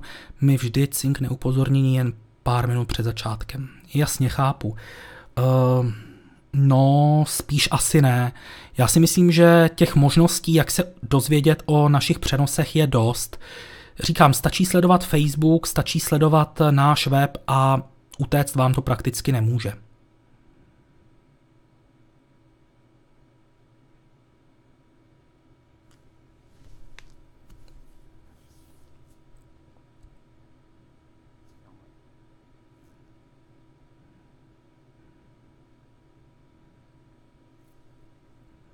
Tak co, budou ještě nějaké dotazy? Vidím, že už jedeme skoro hodinu a půl.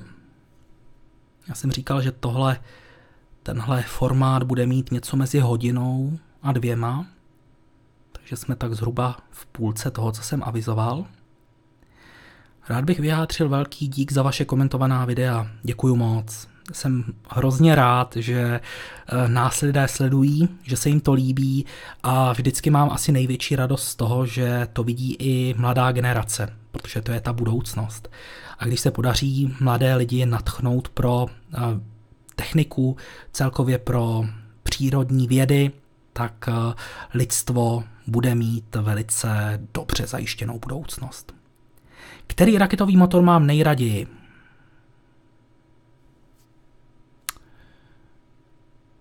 Možná Merlin. Merlin od SpaceX, protože ten motor uh, začínal prakticky jako docela běžný motor na kapalný kyslík a letecký petrolej, ale to, co s ním SpaceX dokázala za několik let udělat uh, s řadou modernizací, uh, vyždímali ho do poslední kapky jako citron z Karibiku a dokázali z něj udělat eh, rekordní motor z hlediska poměru tahu vůči váze na celém světě. To je opravdu úctyhodný výsledek. kdy nejspíš skončí lety Falconů? No, až bude úspěšně v provozu uh, raketa BFR, dnes zvaná Super Heavy. Ta by měla plně nahradit uh, celou rodinu Falcon. Ale kdy to bude, to je samozřejmě otázka, na kterou nikdo nezná odpověď.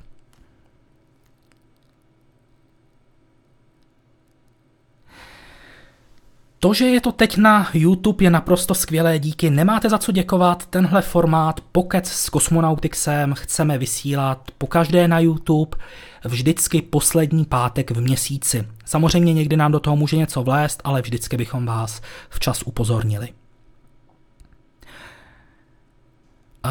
Jak vidíte budoucnost ruské kosmonautiky? bude tam muset dojít k nějakému zásadnímu řezu, aby se oprostili od toho, co je táhne ke dnu a aby tam začali úplně od znova. Já vím, že ono je to hrozně těžké. Byla to vesmírná velmoc, ale oni jim v posledních letech ujel vlak a teď ho horko těžko dohání. Musí odhodit takovou tu, řekněme, národní hrdost, že my jsme my máme takovou a takovou historii a musí opravdu začít makat. To já vím, že jsou to prázdná slova, ale nic konkrétního se poradit nedá. Dokdy mají američané kontrakt na létání v Sojuzech? Dá se předpokládat, že tohle bude poslední rok a to ovlivní frekvenci startů Sojuzu? Ano, v letošním roce by měl proběhnout poslední start, který má NASA domluvený uh, s Ruskem. Co se týče počtu startů Sojuzu v dalších letech, tak to je otázka, protože záleží na tom, jak se agentury mezi sebou dohodnou. Jedna z možností je, že v každém Sojuzu poletí jeden západní kosmonaut a v každé soukromé lodi americké poletí jeden Rus. S tím rozdílem, že ty agentury si za to mezi sebou nebudou platit. Eh, nevíte, zda už teď budou ve Falconech jenom nejnovější nádrže eh, tlakové na kapalné, eh, na stlačené helium.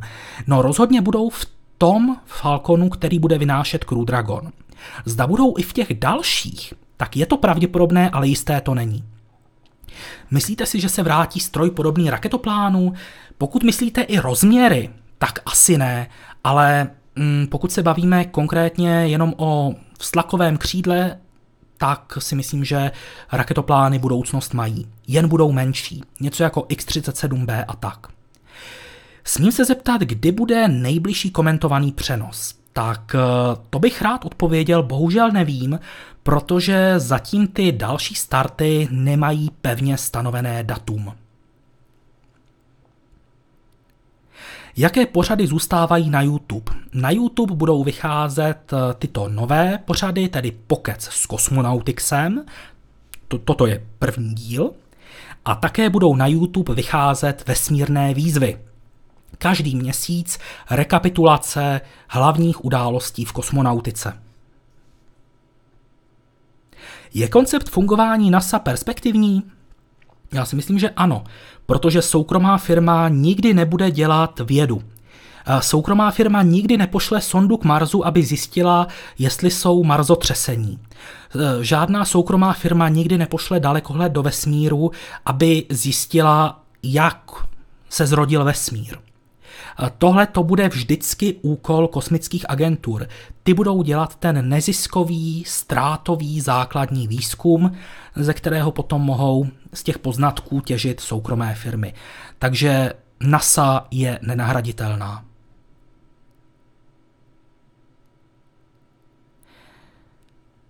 V televizi jsem viděl, že se nějací kosmonauti trénují na podmínky na měsíci. Nevíte, kdyby se tam mělo letět?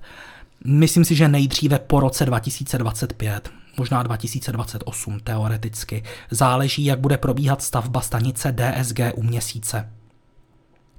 Jak je to s přistáním čínského vozítka na Marsu příští rok a návrat se vzorky půdy na Zemi? Pokud se nepletu, tak Čína hned eh, ten příští rok neplánuje návrat vzorků na Zemi, nicméně nějakou misi by k Marsu vyslat chtěli. Bohužel u tohoto projektu nejsou k dispozici nějaké aktuálnější informace. Bude aplikace pro Android na MOL TV jako YouTube, abych mohl sledovat na mobilu a ne přes prohlížeč. Aplikace MOL TV jak pro Android, tak pro iOS se připravuje a je ve finální fázi schvalovacího procesu. Dokonce myslím si, že do dubna by měla být hotová aplikace i pro chytré televize. Víte, kdy budou první data od sondy Insight? Um, já bych počkal pár týdnů, možná měsíců.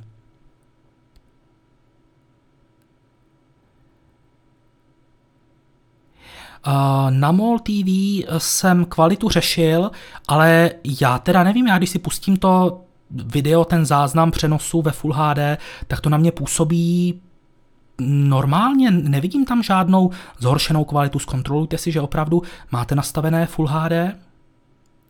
Působíte jako velmi skromný člověk, který se skoro zdráhá mluvit o penězích. Uh, to nevím, jestli jsem skromný člověk, to musí posoudit asi lidé, kteří mě znají. Člověk sám sebe většinou vidí zkresleně. Je dobře, že vás váš koníček uživí, doufám, že dobře, není na tom nic špatného. Uh, ano, já říkám, že mě se stál koníček prací a mám z toho obrovskou radost.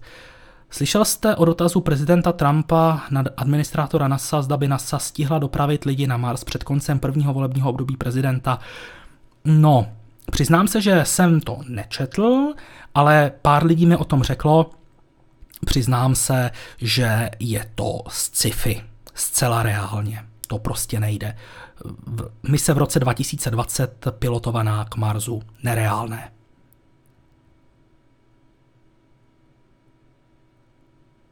Je v plánu pro Deep Space Gateway jen zásobování lety lodí Orion nebo i v dalších zemích, případně soukromníků? Ano, pokud by Rusko bylo součástí projektu, tak se počítá s lodí Federacie, Federacia, tedy České federace.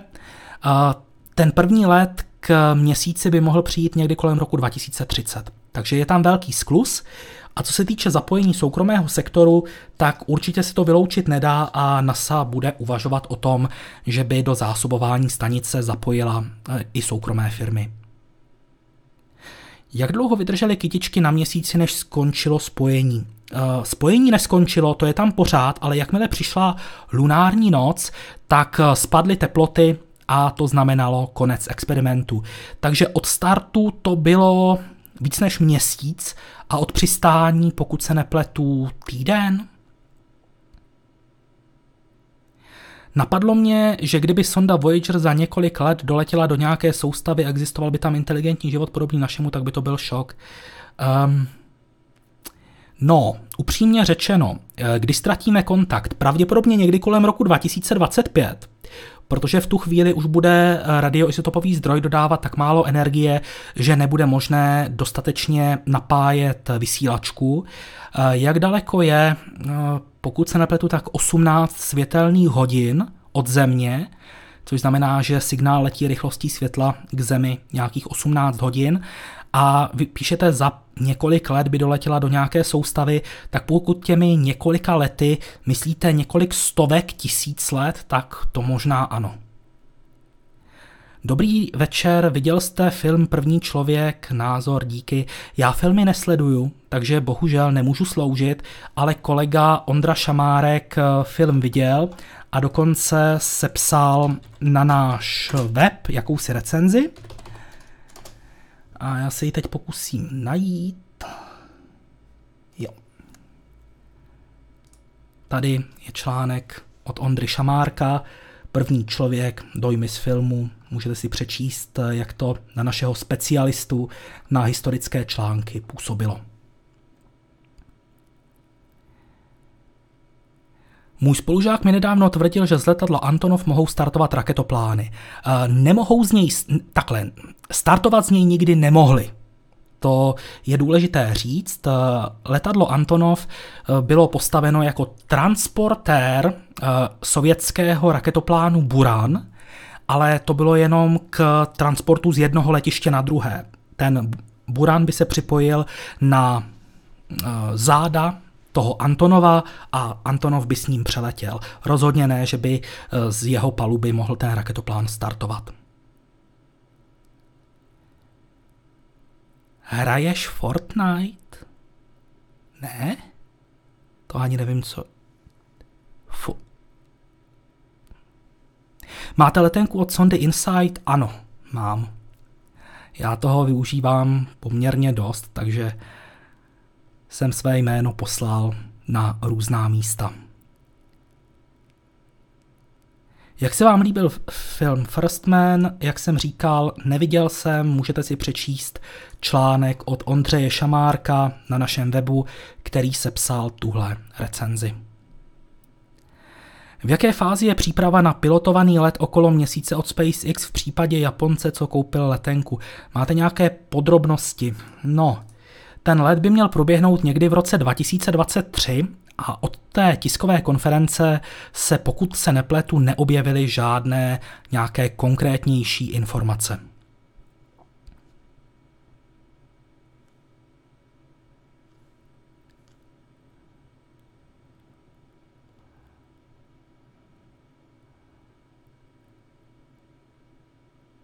Aha.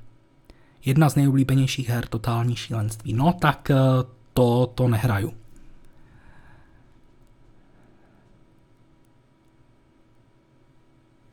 Já celkově na hry moc času nemám. Ale někdy si potřebuji vyčistit hlavu a tak si, tak si zahraju. Ale tuhle hru rozhodně ne, to opravdu. Já ani nevím, o co v ní jde, takže... Ale jelikož je to podle toho, co tady píšete, oblíbená hra, tak předpokládám nějakou střílečku a ty mě nikdy moc nebrali.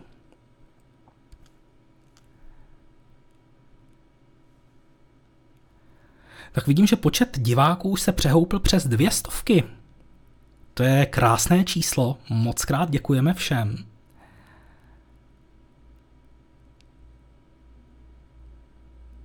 Kdy poletí první indický kosmonaut? Indie by chtěla někdy kolem roku 2023. Uvidíme. Ten termín je poměrně smělý.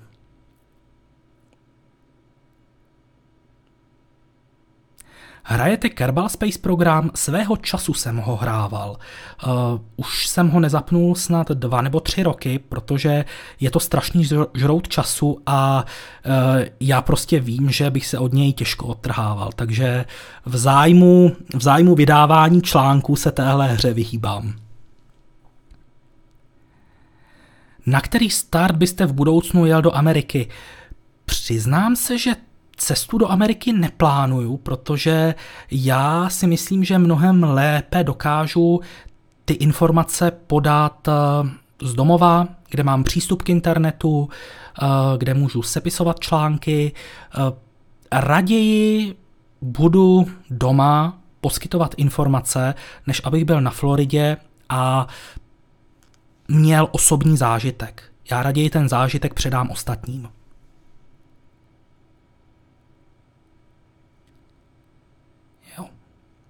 Hra, kde se postupně zabíjíte. Jo, takže střílečka, jak jsem říkal, no tak to fakt teda nehraju. To, to není, to opravdu tyhle hry mě nikdy nějak nebrali.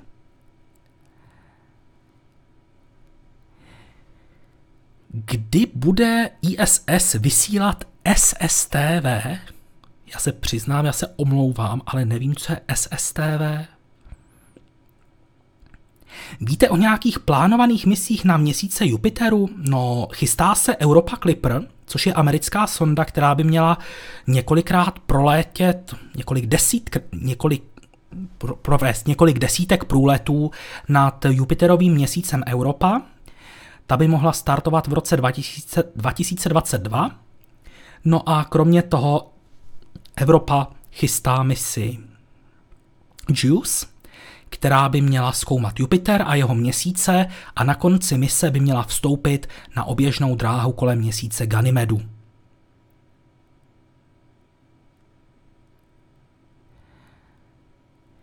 Jestli pojedu do tábora na besedu s Remkem. Hmm.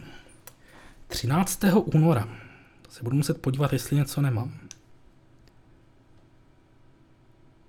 Mám, bohužel. Přednáška, moje první přednáška na Slovensku, mimochodem 13. února v Senci.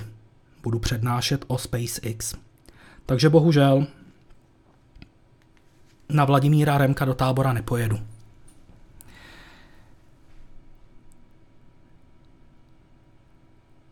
Jaký máte názor na Blue Origin? Firma, která má potenciál, držím jim palce, tak jako každému, kdo létá do vesmíru. Nebylo by perspektivní vybudovat v Evropě rampu na starty raket jako na Floridě a tím vznik nových evropských firm s možností využití víc mozku světa?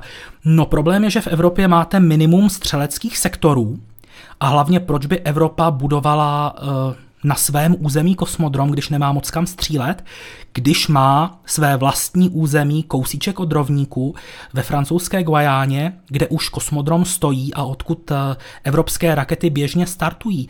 Navíc startovat u rovníku je mnohem výhodnější než z Evropy, takže nedává smysl stavět nějaký kosmodrom v Evropě.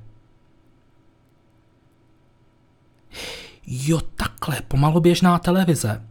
Uh, no, ale to už, to už NASA TV dělá, že vysílá ty záběry z kamer uh, na ISS. Určitě se to dá na internetu najít. Uh, NASA TV nebo na, jak se to jmenuje, HDEV? Teď se přiznám, že nevím, ale jsou to záběry z kamer na ISS, ale to existuje už teď? Jenom teda nevím, kde přesně, kde přesně to je. Jsou z pohledu Kesslerova syndromu CubeSaty v dlouhodobém hledisku nebezpečné? Není lepší se podílet na velké družici, která se dá lépe navést do atmosféry? Nejsou nebezpečné, protože vezměte si, že um, ty CubeSaty se v drtivé většině 99,9% CubeSatů se vypustí na nízkou oběžnou dráhu, řekněme do nějakých 500 kilometrů. Tam je životnost 5 let, plus minus. Samozřejmě záleží na tom, jak je slunce aktivní, jak nafukuje zemskou atmosféru, ale během pěti let ty objekty i samovolně zaniknou. Takže CubeSaty nepředstavují riziko. Naopak představují budoucnost, protože poměrně levně dokáží splnit eh, velké množství úkolů a stále toho zvládají více. Pomůže starší plesklý ocelový povrch zmenšit množství paliva, které bude muset být upouštěno kvůli ohřívání? To je otázka, eh, kterou, na kterou zatím nezná nikdo odpověď a ukáže to až ostrý provoz. Kdy plánuje Rusko zavedení raket Angara do běžného provozu? K čemu je chtějí primárně používat? No mělo by to být eh, Snad již letos by měl přijít první ostrý start rakety Angara, byť teda se nedávno objevily informace o tom, že tyhle rakety mají konstrukční problém s motory, který se bude muset vyřešit. No a tyhle rakety mají nahradit ostatní nosiče, které Rusko používá. Těžká Angara A5 má třeba nahradit eh, raketu Proton, která je nebezpečná hlavně z hlediska eh, toxického paliva, který, které používá.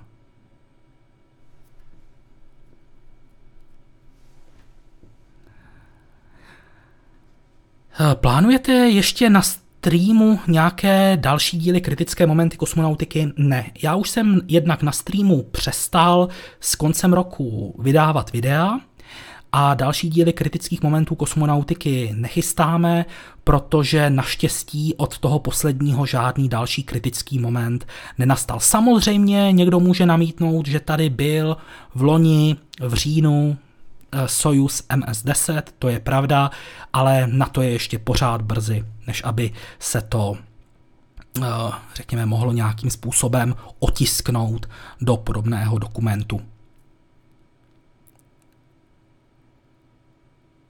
Jo, takhle. Musíte mít na to přijímač a dekodovací software, tak to se, to vůbec, to absolutně netuším, o co jde, to jsem si asi s něčím popletl. Nějaký tip na to, Jaký bude první náklad prvního ostrého letu BFR? No tak, když první Falcon Heavy mohl nést Tesla Roadster, tak co kdyby třeba první BFR vynesl elektrický taháč Tesla Semi? Nedivil bych se, teoreticky. Věříte ve smysl kolonizace Marsu nebo si myslíte, že se najde vhodnější objekt? Eh, musíme být realisté. Pokud eh, chceme něco kolonizovat, tak Mars je prakticky jediná, jediná volba. Eh, je nejblíž, pak už máme blíž jenom Venuši, ale ta má zase jiné problémy. Měsíc není tak ideální, jak se může na první pohled zdát, protože jednak šestinová gravitace, totální absence atmosféry, Mars má oproti měsíci řadu výhod. Myslíte si, že SpaceX zvládne postavit konstelaci Starlink a nesloží to? To je otázka, na kterou se momentálně odpovědět nedá. SpaceX to má určitě dobře promyšlené a oni nepůjdou do nějakého neuváženého rizika. Já si myslím, že budou tu konstelaci budovat postupně, postupně ji budou rozšiřovat, aby je to nepoložilo. A pokud se jim podaří opravdu rozjet tu sériovou pásovou výrobu, tak by to ani nemuselo být tak náročné. Samozřejmě bavíme se o neskutečných objemech družic, ten projekt je nesrovnatelný s čímkoliv ostatním, ale nemyslím si, že SpaceX by za ty uplynulé roky nenazbírala dost zkušeností, aby si nedala jedna a jedna dohromady. Oni naprosto přesně vědí, co si mohou dovolit a co už by bylo riziko. Jak to vypadá s tou novou ruskou pilotovanou lodí? Eh, loď Federace se připravuje, byť teda se na ní odrazily ty problémy ruské kosmonautiky, které byly způsobené hlavně seškrtáním rozpočtu na dalších 10 let o polovinu, takže loď nabrala spoždění a první let k ISS by mohl přijít někdy kolem roku 2023 a její silnější verze s větším množstvím paliva by k měsíci mohla dorazit kolem roku 2030.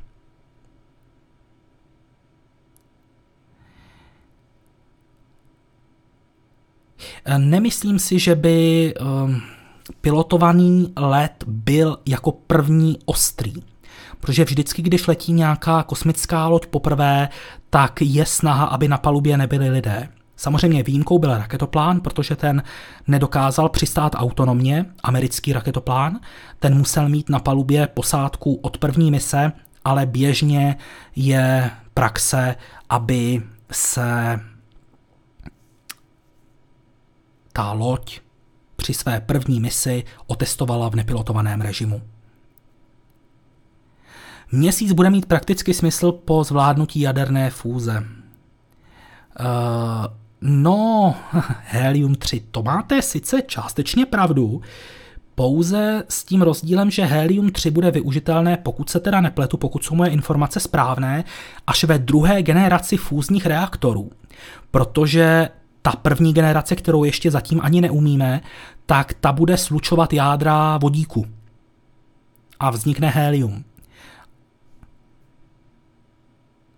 Přičemž možná tritium by mohli vyrábět z helia 3. To je jediná možnost, k čemu by bylo helium 3 využitelné už v první generaci fúzních reaktorů. Nosičem pro federaci bude uh, raketa Soyuz 5. Ano, Mělo by to tak být. Byť teda v minulých letech se to hodně měnilo, hodně se to přehazovalo, ale poslední informace hovoří právě o využití této rakety.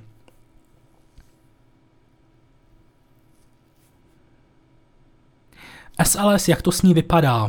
Mm, je v pokročilé fázi vývoje, připravuje se letový hardware pro první dvě ostré mise, stejně tak se vyrábí i testovací hardware, takže SLS je na nejlepší cestě k prvnímu startu v létě příštího roku. Proč se Chang'e 4 při sestupu zastaví? Uh, pokud to není chyba videa, jakože myslím si, že není, ale je potřeba i tuhle možnost zmínit, tak uh, možná udělala to samé, co dělá třeba New Shepard, když přistává jako pohoná jednotka motoricky. Zavisí několik metrů nad povrchem, zkontroluje si, jestli je připravený se stoupit a pak až definitivně klesne. Možná to bylo stejné i v případě Chang'e 4. Tušíte, proč americké raketoplány používaly k přistání ruční řízení?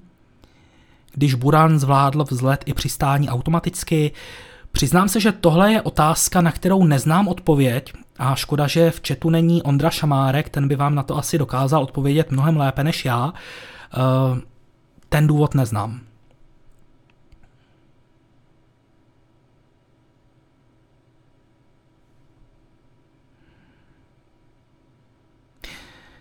Tak pomalu se nám blíží dvouhodinová meta. Já dám posledních pět otázek z chatu. A poté se s vámi rozloučím.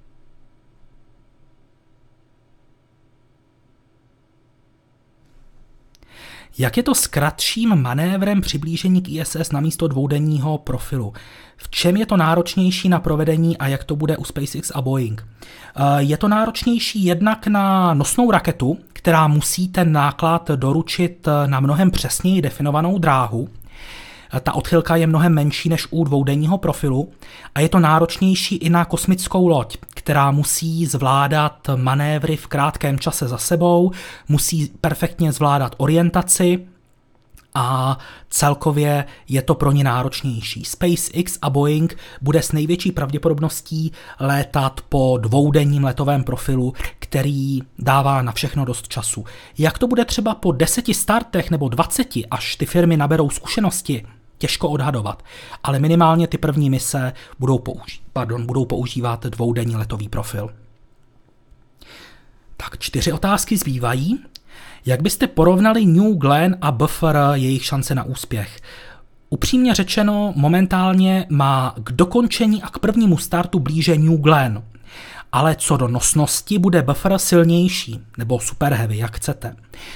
Každopádně myslím si, že obě ty rakety mají šanci na úspěch, každá bude cílit na trošičku jiný sektor trhu, ale myslím si, že žádná z nich není odsouzena k zániku.